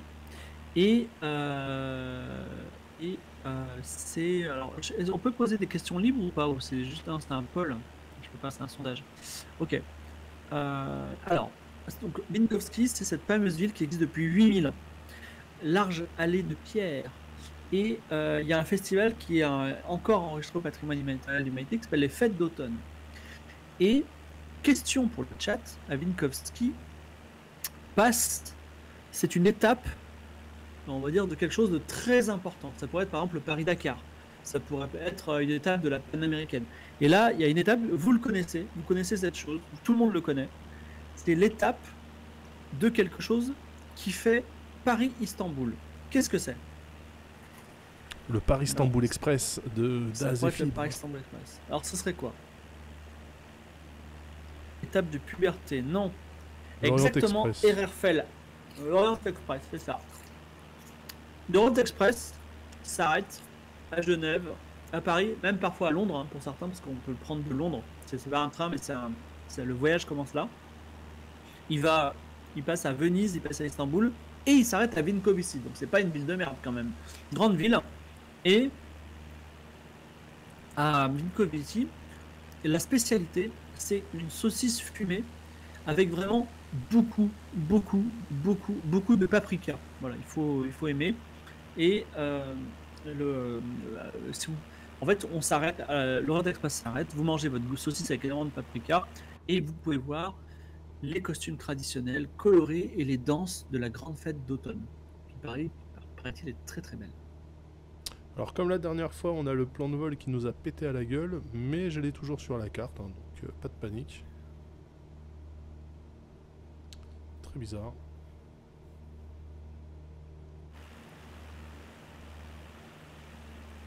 Donc là, on se dirige vers je sais pas où. Alors, c'est- normalement, la prochaine ville, c'est Tovalnik, qui est à Tovarnik, qui est à 30 km. À 30 km. Oh bah. C'est beau, hein, quand même. cinq- c'est une ville. 50 55 Et là, on voit, on voit la, grande gare. hein. On voit la grande gare, ah bon? Elle était sur le côté.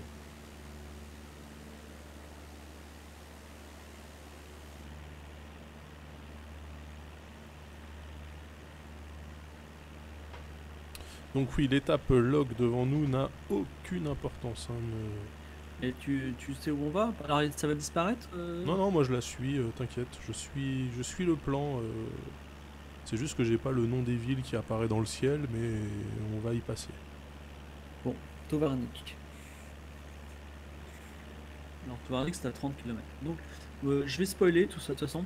Tovarnik euh, a vu la naissance. Alors, je, je vous demande de pas Wikipédier pour qu'on joue, on joue ensemble.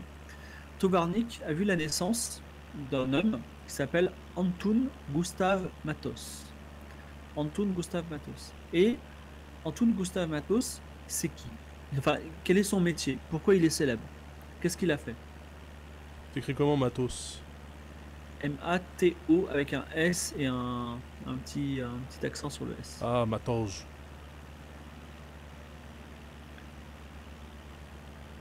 Est-ce qu'il vendait du Tosma Alors, question. Bonsoir euh, au Cray, euh, au Cray 7. Au Cray, au Cray 7. Un architecte, un magicien, un astronome, un peintre, un plombier, un physicien nucléaire. Euh, alors, je, je, vais peut-être- je vais vous demander, euh, on va le faire différemment. Gustave Anton Matos, Il fait un S'il était français, s'il était français, ce serait qui? Est-ce que ce serait Bigard, tu vois Est-ce que ce serait, euh, est-ce que ce serait, euh, comment ça s'appelle Est-ce que ce serait Macron? Est-ce que ce serait euh, Paul-Émile Victor? Claude François, Napoléon Sarkozy Non, Lavoisier, Villani non plus, Drucker Non, non. C'est, imaginez un mec hyper célèbre en France, Michel Leb. Non, il est plus vieux que Michel Leb. Baudelaire. Ah, Baudelaire, c'est pas con. Nikos. Manuel Ferrat, non. Jo- Ah, il y a du Johnny là. Non. De toute façon, Non, les pays, euh, les pays slaves, ils produisent que des joueurs d'échecs ou des mathématiciens. hein. Eh bien non, parce que Anton Gustav Matos, c'est le plus grand écrivain poète de la Croatie. Et euh, c'est le Victor Hugo en fait de la Croatie. Il est très très très connu. Et il a aussi, c'est aussi un poète, euh, donc il est, né en 1873 et euh, il est, euh, c'est un poète voyageur. Il a voyagé un peu dans le monde entier et il est, il, est, il est mort en, comment s'appelle, en Serbie, je crois. Non, il est, non, je crois qu'il est mort en... Tout cas, il est, il est passé à Paris, il est un peu dans le monde entier, il a fait beaucoup de, beaucoup de livres, il a fait beaucoup de poésie. Et ça, il paraît que quand on est croate, c'est trop beau à lire le Anton Gustav Matos. Et donc, il y a la maison de exactement François Courtis. Il a écrit Les Misérablos. Il a écrit aussi la légende, la légende des sièclos. Et euh, Bose, Bose endormi. Avec. euh, Célèbre pour sa tribune de Jacques dans le journal Non, non, local. Voilà. Fossile d'or. C'est qui Victor Hugo C'est le euh, Victor Hugo, c'est le Gustave Antoine Matos de la France. Bref. Et donc en fait, euh, il y a la maison de Antoine Gustave Matos, donc à Tovarnik, et euh, il y a un musée, c'est un musée un peu privé qui euh, qui explique un petit peu bah, la vie de. C'est pas Zola, j'accuse. Si, complètement, Motion Lux. Tout à fait, j'ai dit de la merde. Je confonds Zola et Hugo. hein. Parce que déjà, ils ont tous les deux des quatre, quatre lettres pour leur nom. Tous les deux, ils écrivent quand même des bouquins vachement, euh, épais. Et tous les deux, on te force à lire ça à l'école alors que t'en as rien à secouer. Donc euh, voilà, c'est pour ça que. Il aussi autre chose, c'est que euh, là, quand on sera à, à Tovarnik, on sera à 10 km de la Serbie. Donc on est presque en Serbie. Alors, Tovarnik, on est encore à à peu près 14 km. Je crois que c'est la plus grosse étape que tu nous as fait là, 30 km de distance. Bah, malheureusement, parfois, euh, par exemple, on va, travailler des- on va traverser des parcs nationaux et euh, c'est super long parce que le parc national il fait 150 mètres de longueur. Quoi. 16 aussi à 4 lettres à son nom, c'est vrai, donc ça, 16, Zola et Hugo, c'est un peu le même combat en fait. Madame et Serbie, ah ça c'est pas mal, ça sera le nom du, du stream de la semaine prochaine. Ah putain, énorme. Là c'était N'allez pas dans les Hautes-Serbes, euh, mais Madame et Serbie ça marche aussi. C'est marrant parce que c'est c'est rigolo de, de, de rigoler des Serbes quand ils sont loin. Mais euh, honnêtement, Daz, je vais te dire quelque chose. J'étais à Belgrade avec un noir. Ouais, non mais moi je vais pas, moi je, s'appelle je, je vais pas là-bas. hein. Et euh, les mecs, suite, hein. ils le regardaient droit dans les yeux, en, en genre en mettant leur, leur pouce sous la gorge, là, comme ça. Et à un moment, on est en plein milieu de la ville, et il y a un autre noir, tu vois. Et vraiment, c'est le seul autre noir de la ville. Et le mec s'approche, et en fait, c'était un français. Non mais c'est clairement pas des endroits qui sont euh, qui sont faits pour nous autres euh, personnes avec euh, beaucoup plus de mélanine que, que vous. Et euh, c'est quelque chose que j'accepte totalement. C'est-à-dire que moi, jamais de ma putain de vie, je mettrai un pied dans ces endroits et ça ne me dérange pas. Ça ne me dérange pas le moins du monde. Euh, en- en- à Belgrade, ils, ils sont pour la, la Gay Pride, pour repérer les gens qui sont à la Gay Pride, pour, pour les chasser ensuite. C'est vraiment, c'est vraiment, enfin, ça c'était quand j'y suis allé, c'était en 2013. Après, ça s'est peut-être calmé, mais c'était c'était chaud, quoi, comme il C'est chaud. De toute façon, que, peut- que pouvons-nous attendre d'une ville dont euh, le, le vêtement de référence est le survêt? Je veux dire, Ouais, c'est chaud. t'as dit ça, t'as tout dit. Bah non, mais après, c'est des beaux survêtements. Oui, ok. Mais ouais, j'ai. euh, J'étais pas, pas rassuré. La Croatie, pire souvenir. Ah ouais Putain, pourtant la Croatie, euh, tout le monde dit que c'est super génial et tout. Ouais, la Croatie, c'est un peu le truc des hipsters là depuis qu'il y a eu Game of Thrones. euh, J'ai l'impression que. C'est que à. Dubrovnik en fait. euh.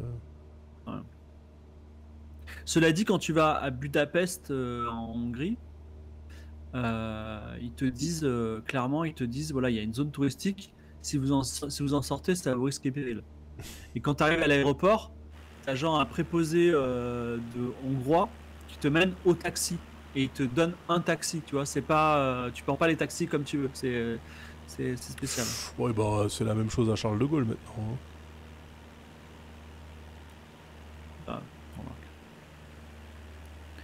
Bref, Je viens de Belgrade et je vous le dis, c'est chaud. Ah oui, c'est. Ouais. D'ailleurs, Pulpalax, est-ce que tu. Est -ce, alors, la, la, la musique la musique locale à Belgrade, c'est la turbo folk. Est-ce que tu as déjà écouté de la turbo folk Pulpalax J'ai- Là, j'ai vraiment cru que j'allais mourir aussi. Parce que c'est du, euh, c'est la musique. euh, la musique, euh, c'est la musique traditionnelle, traditionnelle serbe, avec des chants plutôt nationalistes. Alors que nous survolons euh, euh, Tovarnik, hein, je, je vous le dis, voilà. Voilà, Tovarnik, là où est né le grand August Matos. Non, c'est. euh, ouais, mais il paraît que quand tu co- comprends les paroles, c'est encore pire. La turbo folk.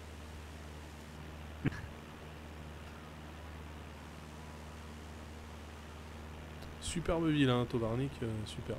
Vraiment, ça, Ah, c'est petit, mais. Non, mais ça va aller, hein, le- c'est 30.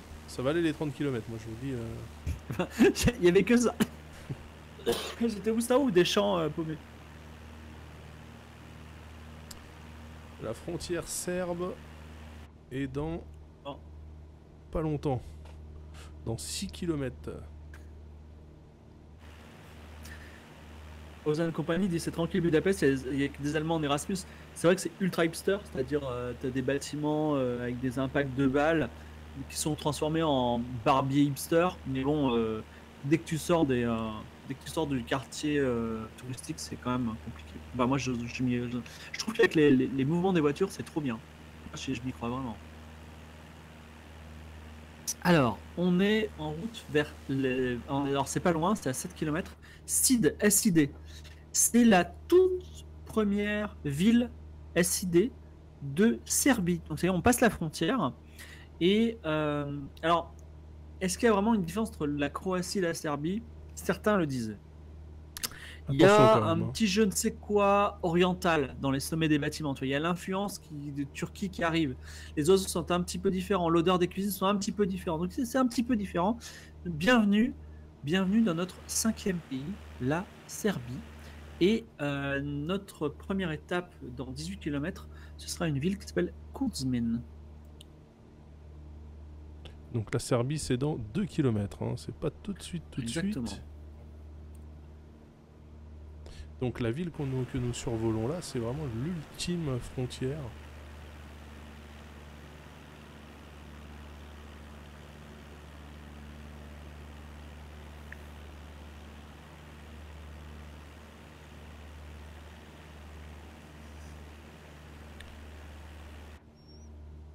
Ça y est. Nous passons. Mm. On voit les postes frontières, nous dit euh, Mister. O. Non, non, je ne pense pas, je ne pense pas. Euh, donc, euh, on Nous en passons, ça Serbie. y est, on est en Welcome, Serbie. welcome, welcome to Serbia.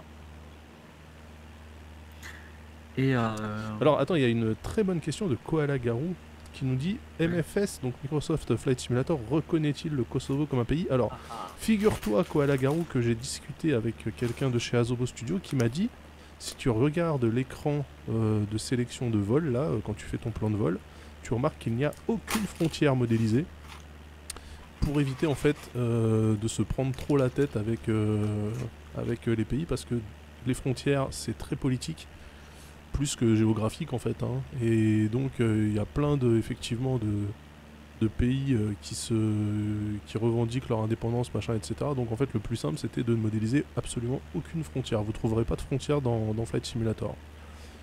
Ce qui est pas plus mal au final effectivement. Effectivement, moi, quand j'ai quand, j'ai écrit euh, les, les aventures en, en Croatie, en Serbie, bah, j'avais le- les seules sources qu'il y avait, c'était Wikipédia croate et Wikipédia serbe, et ils disaient pas la même chose, quoi. Donc c'est assez marrant. il y en a dans Honor ouais bah Honor se fait moins chier tout simplement Flight Simulator ils se sont pas trop pris la tête hein. vous avez toutes les villes mais, mais vous avez aucune frontière modélisée Alors, est-ce que tu peux me dire à combien de kilomètres on est de la première étape qui est course mine? Moi, j'ai euh, à est 18 à km de la 14, frontière, mais euh, on est à 14 km là maintenant, 14 km. à peu près. Donc, Kurzmin, je suis désolé, vous allez être un peu déçus. C'est une ville qui est, euh, c'est ça agricole, une petite ville. Il y a beaucoup de granges, de, gros- de vastes granges. Et ces granges, elles sont pas innocentes parce que elles servent certes, certes à stocker euh, foin, euh, céréales et bétail, mais aussi elles étaient utilisées parce qu'on est sur la frontière pendant la guerre comme des tours de guet. Les soldats se hissaient en haut des granges et euh, guettaient l'arrivée des ennemis. Voilà. On peut peut-être préciser de quelle guerre on parle parce que du coup, Euh, alors, euh, je sais pas. je sais pas parce que comme la, comme la, comme la, non mais en fait, ils ont toujours été en guerre, la Croatie et la Serbie. J'ai l'impression. hein. C'est, c'est, comme l'a signalé quelqu'un dans le chat. Euh, pendant la Deuxième Guerre mondiale, la Croatie était l'allié de l'Allemagne, les Serbies étaient plutôt côté euh, français. Donc, euh, Ah bah, la France était aussi l'allié de l'Allemagne, si je puis me permettre. pendant la Deuxième Guerre mondiale? Ah oui, Ah bah oui. euh, à ce oui. moment-là, oui. Euh, oui. C'est vrai. ETA 23h, euh, je pense pas. Il reste combien d'étapes, euh, mon bon fibre? Alors je regarde, course mine.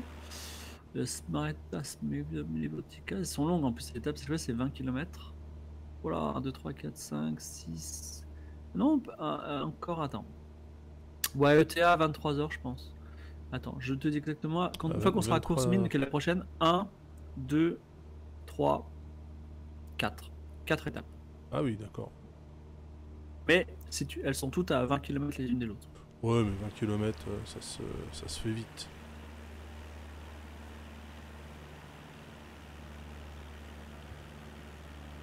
Alors, euh, semaine prochaine, s'il y a Game of Thrones, ce qui n'est pas assuré, euh, je serai également dans ce magnifique euh, logement à Paris. Mais il y a Game of Thrones la semaine prochaine, Il n'y a, pas- y a pas une OP pour euh, des chaussettes ou... Ce soir, alors c'est dans les OP, l'OP chaussettes c'est demain, si elle n'est pas annulée. Et je sais pas, il y aura peut-être une OP. Il y a des OP sur tout en ce moment. Pourquoi le choix de cet avion? Eh bien, euh, j'ai choisi le Cessna 172 Skyhawk pour deux raisons. Premièrement, il est facile à piloter. Deuxièmement, euh, course mine à droite là, hein. course mine, la ville droite devant nous. Deuxièmement, c'est euh, c'est un des avions de petite taille qui dispose euh, du glass cockpit et du pilote automatique. Parce que je prévoyais déjà les longues traversées d'Iran en me disant que je fous l'avion en pilote automatique et comme ça je peux faire autre chose.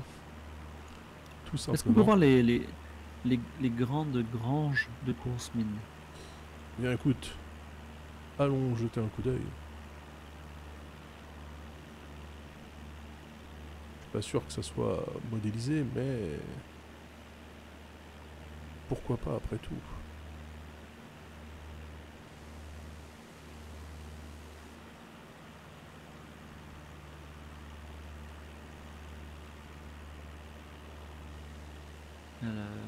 On peut piloter des Boeing. des- Oui, on peut piloter des Boeing, des Airbus. On peut tout piloter.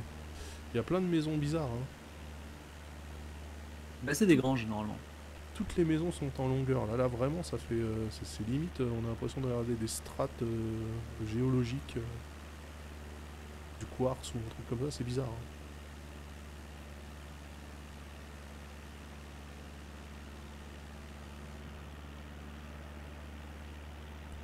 Pas pire que l'OPPMU. Ah, il y a eu une OPPMU aussi. Mais pourquoi pas après tout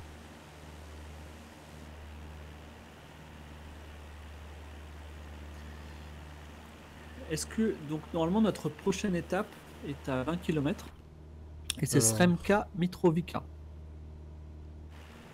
Donc c'est une grande ville. hein. Oui. Tu l'as ou pas, Sremka Oui, oui, oui, oui, c'est à, À 20 je la- km Je la vois à 16 km maintenant. mais oui. 16 km, donc c'est une très grande ville, il y a plusieurs dizaines de milliers d'habitants, donc ça va nous changer un petit peu. Euh, alors, bien qu'on soit loin de la mer, il y a quand même euh, une influence méditerranéenne, vous verrez les, les toits sont rouges. Euh, et ça, c'est un truc qui est, qui est vraiment assez unique en Serbie, qu'on voit un petit peu en Bulgarie, mais c'est-à-dire qu'on a à la fois des toits méditerranéens de tuiles rouges, mais on a aussi des églises orthodoxes. Et euh, à Sremka Mitrovica, il y a euh, le musée de Srem, qui sont des, dans lequel il y a des pièces, euh, des œuvres d'art, on va dire plutôt de l'ordre spirituel et de, l'orthodoxe. Il y a un très grand cimetière, malheureusement, qui est en relation avec la, la guerre, la guerre du Kosovo. Et également, il y a une prison, figurez-vous, la prison de Sremka Mitrovica, elle est assez connue parce que elle était, c'était un petit peu, comment dire, euh, au siècle dernier, c'était un petit peu le, un endroit, c'était la prison où il se passait des trucs, tu vois, genre pas prison break, mais euh, on, on- on emprisonnait des gens, euh, des héros de romans, et ils arrivaient à se, libérer de cette prison. Voilà. Et je crois qu'il y a une, une, héroïne euh, de BD anglaise qui s'appelle Blaise quelque chose, qui, euh, qui a aussi été emprisonnée à la prison de Sremka euh, Mitrovica, un lieu de complot et d'aventure. Je vais un peu me re-renseigner, un petit moment que je n'avais pas regardé ça. Et prison. Il y a une page Wikipédia sur la prison de Sremka Mitrovica. Et donc. euh, est-ce que- Oula, Mais ce nom, me dit, énorme. ce, ce nom me dit quelque chose. hein. Ben ouais, euh, ben dedans il y a eu Slobodan Milosevic, hein. mais C'est euh, peut-être pour ça alors. euh, Il s'est pas échappé lui. c'est- par contre. Euh, attends. Euh, J'essaie de voir euh, s'il y avait des euh, comment dire euh, culture référence. Allez, euh, j'ai plus la.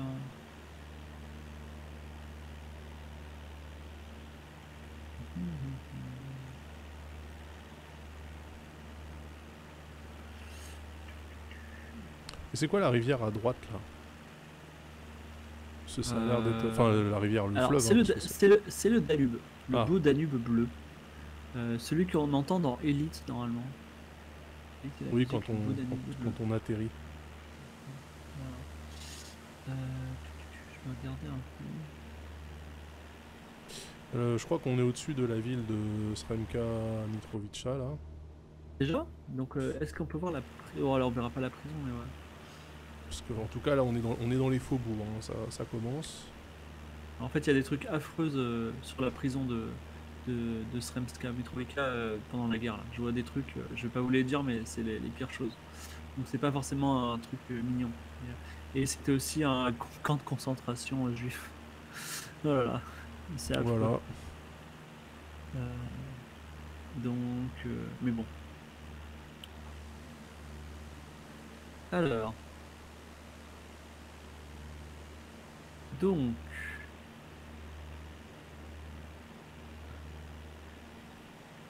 Euh, donc la prochaine ville qui se trouve à 17 km, c'est Rouma. R-U-M-A. Donc c'est une grande ville encore. Donc là, euh, la Serbie, on, voit que c'est quand même beaucoup plus peuplé. hein, c'est moins, euh, paysan, même si on est dans la partie. Enfin, cela dit, effectivement, on on s'approche de Belgrade en fait, donc de la capitale. Donc les villes sont de plus en plus grosses. Et euh, la prochaine ville, Ruma, euh, dispose d'un parc, euh, d'une réserve ornithologique exceptionnelle. Donc spécialiste, c'est un grand parc où il y a plein d'oiseaux. Et notamment, il y a deux types d'oiseaux que vous pouvez voir si vous êtes dans une cabine d'observation. C'est des cigognes noires, donc des cigognes entièrement noires, et également un, petit, euh, un petit animal dont on a parlé, qu'on a rencontré euh, quand on était justement dans le 77, qu'on a dit tout à l'heure, qui est le blongios nain. Le blongios nain, c'est un, c'est un animal, un petit oiseau assez rare et en voie de disparition.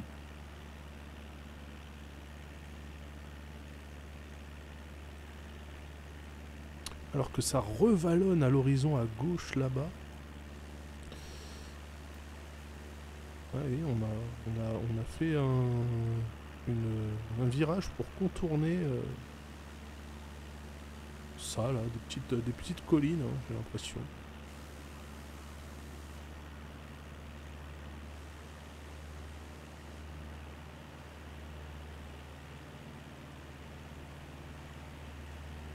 Fouilllaillou. C'est compliqué, hein, c'est compliqué de maintenir cet avion.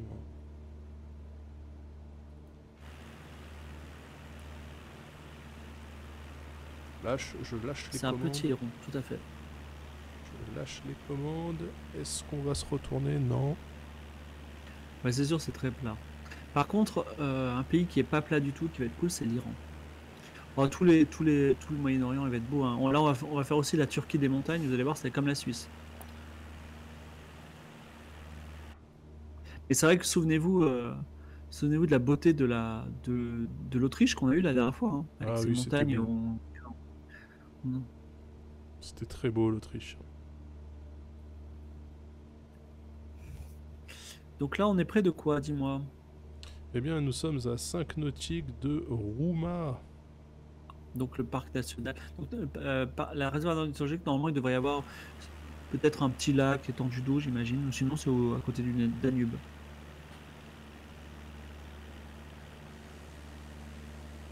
Alors, pas si à côté que ça parce que quand même droit devant alors que le Danube est complètement à droite là. Et en plus il prend un virage, il s'éloigne. Alors moi j'étais hébergé sur un, un hôtel flottant sur le Danube à Belgrade. Et euh, c'est plutôt mignon, c'est une bonne idée. Et, euh, et malheureusement quand il y avait un hors-bord qui passait hyper vite sur le Danube en pleine nuit, ben, ça nous réveillait parce que tout l'hôtel bougeait. Et le Danube avec l'Amour, c'est un fleuve extrêmement long. L'Amour c'est un fleuve, hein. donc Danube, je regarde. C'est la, deuxième.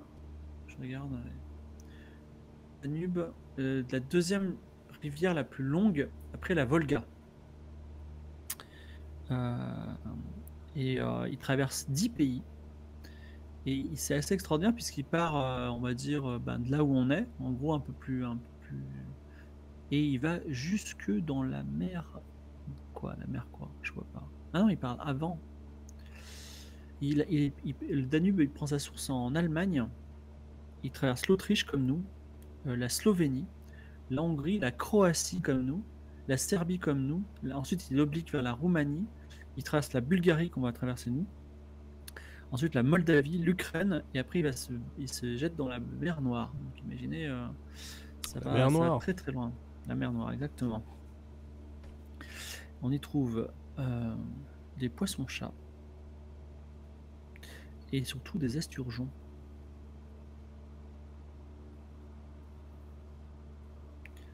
Alors Et nous sommes à 2 nautiques de Rouma, De donc c'est juste devant nous. Là où il y a euh, euh, GL20 et Peterovski. hein.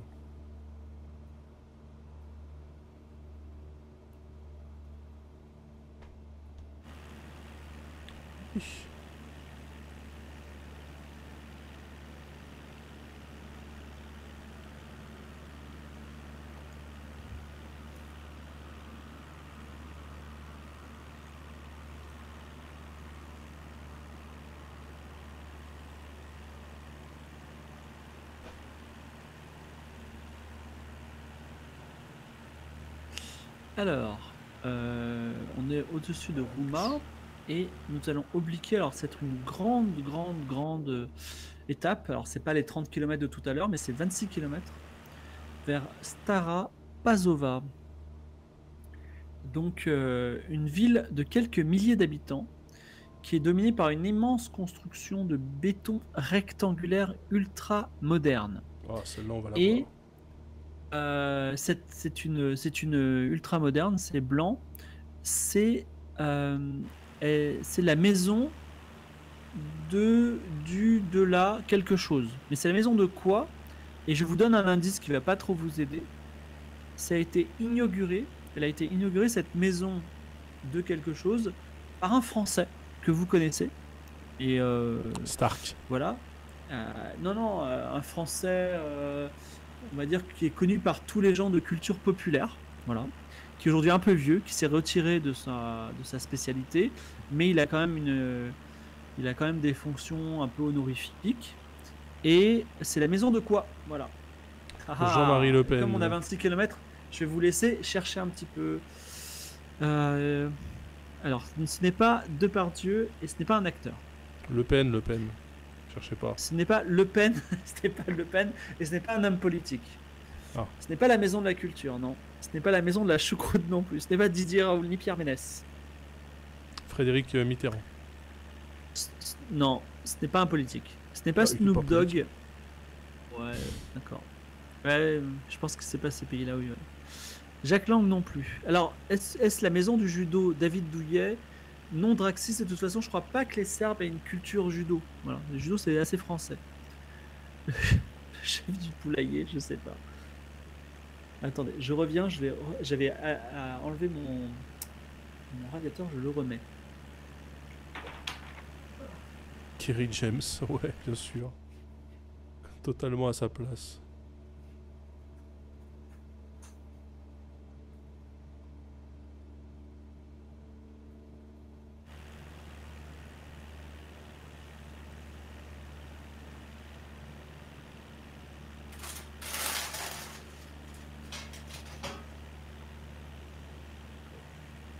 Alors, j'espère que. Oui, le judo, c'est assez français. Euh, Alors, qu'est-ce que vous dites? Les résidences secondaires. Non, la maison de. Non. Qu'est-ce qu'on a d'autre? Euh, Non, Michel Sardou, non. Allez, je vous donne un indice. C'est un ancien sportif français. Il est toujours français, mais il est plus, il est plus sportif. C'est quoi ces taches au sol? C'est certainement les nuages. L'ombre des nuages sur la Alors, photo ce n'est pas. David Douillet. C'est Platini, tout à fait, Chèvre des Bois. Tu as gagné. C'est Michel Platini qui a inauguré dans la ville de euh, Stara Pazova. Il a inauguré évidemment la maison du football. Voilà. Et vous voyez là, sous notre avion, nous longeons en fait euh, une ligne de jointure entre deux textures. Et vous voyez que c'est parti en sucette. hein. Je sais pas s'il y a une différence de saison au niveau de la prise de la photo par le satellite, mais la route est à peu près raccordée. Mais par contre, après, toutes les couleurs sont complètement limite inversées. C'est très bizarre.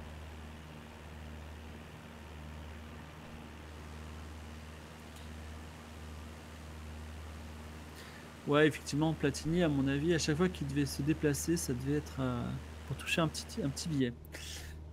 Ah, attention, qu'est-ce que vous sous-entendez là, voyons? C'est pour l'amour du sport qu'il faisait ça. Alors, je vous informe que nous sommes à une étape de l'aéroport, donc il y a quand même beaucoup de gens devant nous. Euh, Préparez-vous à faire la haie d'honneur, n'oubliez pas, pour qu'on puisse, euh, on puisse à- à se poser dans les meilleures conditions.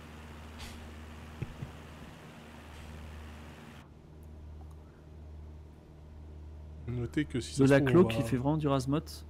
on va rater, euh, on va rater l'aéroport. Bon, il doit être sous log là, non? Non, non, non, il est pas sous log justement. C'est ça la blague. On est où par rapport à Stara euh, On est à, on est à 7 nautiques, donc à donc, euh, 12 14 kilomètres. km. Ouais. Oula, il y a un avion, il est tout petit en bas là. Il fait vraiment du rasmot euh, incroyable. Oui, c'était Asmo, euh, Asmo. En TBM en plus, hein. Beau gosse.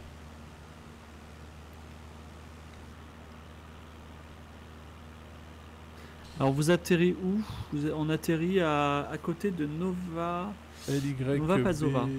Non mais c'est cool, on commencera par Belgrade la prochaine fois. Et ça, peut, ça fait pile 23h, c'est cool. C'est bien bien vu. LYBT. Le code de, de l'aéroport LYBT. Oh, Il y en a, il y en a en Serbie. hein. Wow. C'est vrai que la Serbie c'est bon. hein. De quoi au niveau des étapes? Ouais. On traverse le sur la prochaine émission de toute façon. Yes. Je vérifie. Ah oui, la, la prochaine émission on fera même la Bulgarie, d'accord.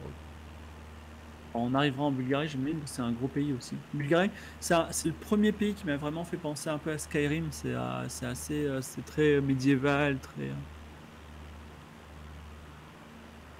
euh, ouais, la prochaine étape on s'arrêtera même à Sofia en fait, ce sera la destination. Ah, Sofia, bah, ce sera la capitale de la Bulgarie. On va faire de la capitale à la capitale, ça va être super.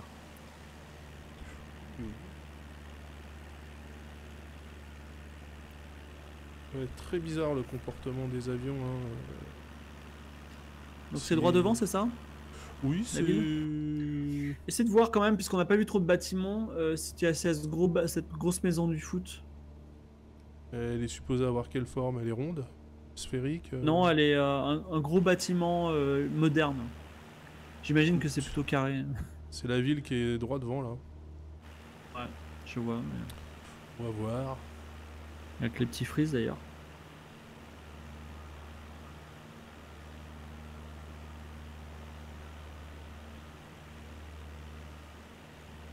Voilà, un petit freeze là justement, on est bien.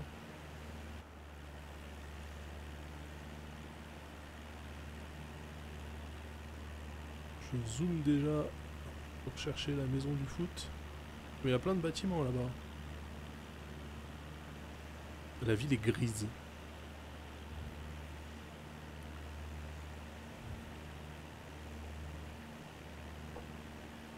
Alors que Ouais, Starapazova. En Stara Pazova, c'est, euh, bah, voilà, c'est, bah, c'est- on est, de- on est dessus. La prochaine, c'est Nova Pazova. Donc Stara, j'imagine, c'est l'ancien, et là, c'est Nova Pazova. Il y a beaucoup de ça, beaucoup de villes euh, observées anciennes et nouvelles aussi. Et euh, Nova Pazova, qui est à côté de Stara Pazova, donc il y a 6 km, elle est elle-même dans la banlieue de Belgrade. Donc euh, tout est plus ou moins en construction, un peu comme quand on arrive à Istanbul, il y a beaucoup, il y a 100 km de chantier. Et euh, mais il y a quand même une économie et une locale et de production intense. C'est assez dingue pour l'avoir vu en vrai. C'est vraiment, t'as des, t'as des euh, villages bidonvilles et à côté t'as des, euh, t'as des panneaux publicitaires genre en, LED, tu vois. C'est vraiment, c'est assez dingue. Et en tout cas, à Nova Pazova, on peut manger du kacharnak. Kacharnak qui est le nom local de la polenta. Et on peut aussi boire de la Jelen Pivot qui est de la bière. Voilà, c'est les deux spécialités. Et euh, également à Nova Pazova, il y a, on, peut, on peut apprendre le Madlost Pazova qui est euh, une association internationale culturelle qui propage la danse typique serbe. Voilà. Je ne vois pas la maison du foot, mais je vois un beau terrain là. Ouais. Et là, normalement, on devrait être assez proche de ton, de ton, de ton aéroport. Alors, oui, il est là, figure-toi il est que là. tu- tu- On le voit. Tu t'arrêtes à l'a- à l'aéroport, probablement de Belgrade, un aéroport qui, je crois, je s'appelle l'aéroport Nikola Tesla, qui se trouve sur les billets de 50 euh, zloty, je sais pas comment on dit, en, en peut-être c'est des euro- euros, je sais pas. Et euh, tout est, alors Nikola Tesla était serbe, tout est Nikola Tesla en Serbie, ils sont fous de Nikola Tesla. Donc euh, ce sera notre, euh, c'est un aéroport sur lequel euh, voilà, on s'est posé, c'était mignon. Et pourquoi j'y suis allé? Parce que euh, en, à Belgrade se trouve la Casual Connect, qui est un salon du jeu vidéo euh, qui se passe en Serbie que j'aime beaucoup. Il y a Terrillaire qui dit Merci pour la balade. Y aura-t-il l'âme à partir du 18 décembre dans Studio 400 Flight? Eh bien, Ah. écoute, euh, il y a de la place dans ce Cessna. hein. Il y a 4 places. On pourrait Alors, accueillir remarque, il peut avoir sa propre, il peut avoir son propre avion aussi. hein. Bah, bien sûr, il peut également nous suivre. Il y a des pistes euh, droite ou gauche? Oh, bah, droite, non? Il y a deux pistes. Est droite. Ouais, piste, piste droite. Moi, j'ai même Localement pas de droite. Voilà. Nationalement de gauche, mais localement de droite. Là, on est au niveau local, donc euh, piste droite. C'est la piste qui est en face de moi. Je sais pas. Je sais pas de laquelle il s'agit exactement. Je n'ai même pas de couloir d'approche. hein. Là, c'est vraiment euh, feeling. Je d'ailleurs commence à baisser les volados hein, pour pouvoir euh, freiner. Hop, je repasse en vue intérieure car nous ne sommes pas sur GT. Ah non, attendez Qu'est-ce que c'est que ce couloir d'approche à la con là? Ah bah oui, ok, bah, je vais suivre le couloir d'approche qui disparaît, qui réapparaît. Je ne sais pas trop. Ok, donc droite, hein, on se met sur la piste de droite et on... C'est pas la piste que je vois tout de suite, c'est l'autre. Voilà, donc redécollez si vous êtes à gauche.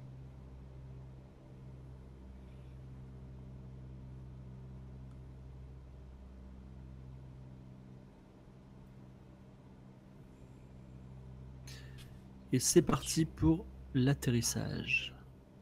Attention, je mets les pieds sur le ballonnier. Alors que euh, nous sommes à 1900 tours minute, nous allons réduire encore notre vitesse.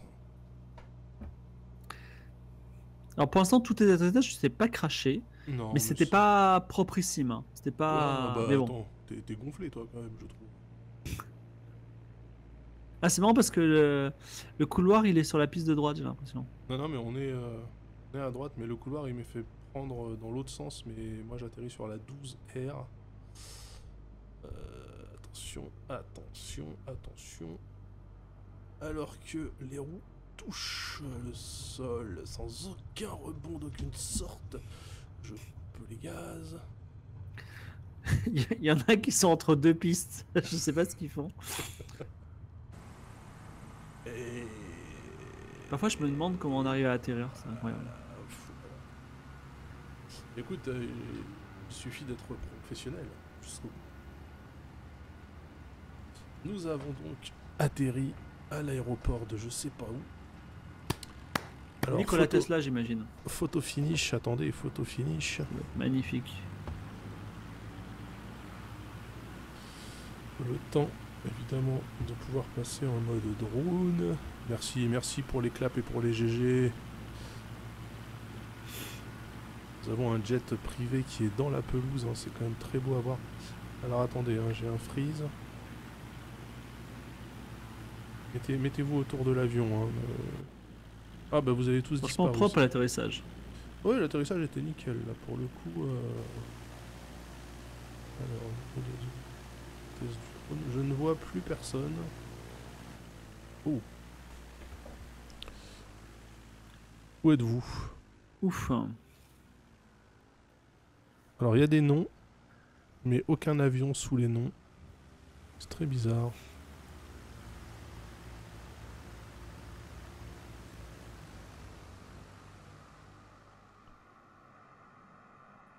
Approchez-vous, hein, n'ayez pas peur, voilà, Jupiter Mang. Ah ça y est, les avions réapparaissent.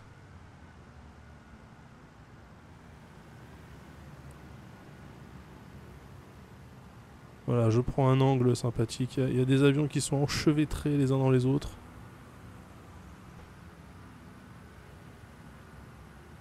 Voilà, attention. Est-ce que tout le monde est bien présent?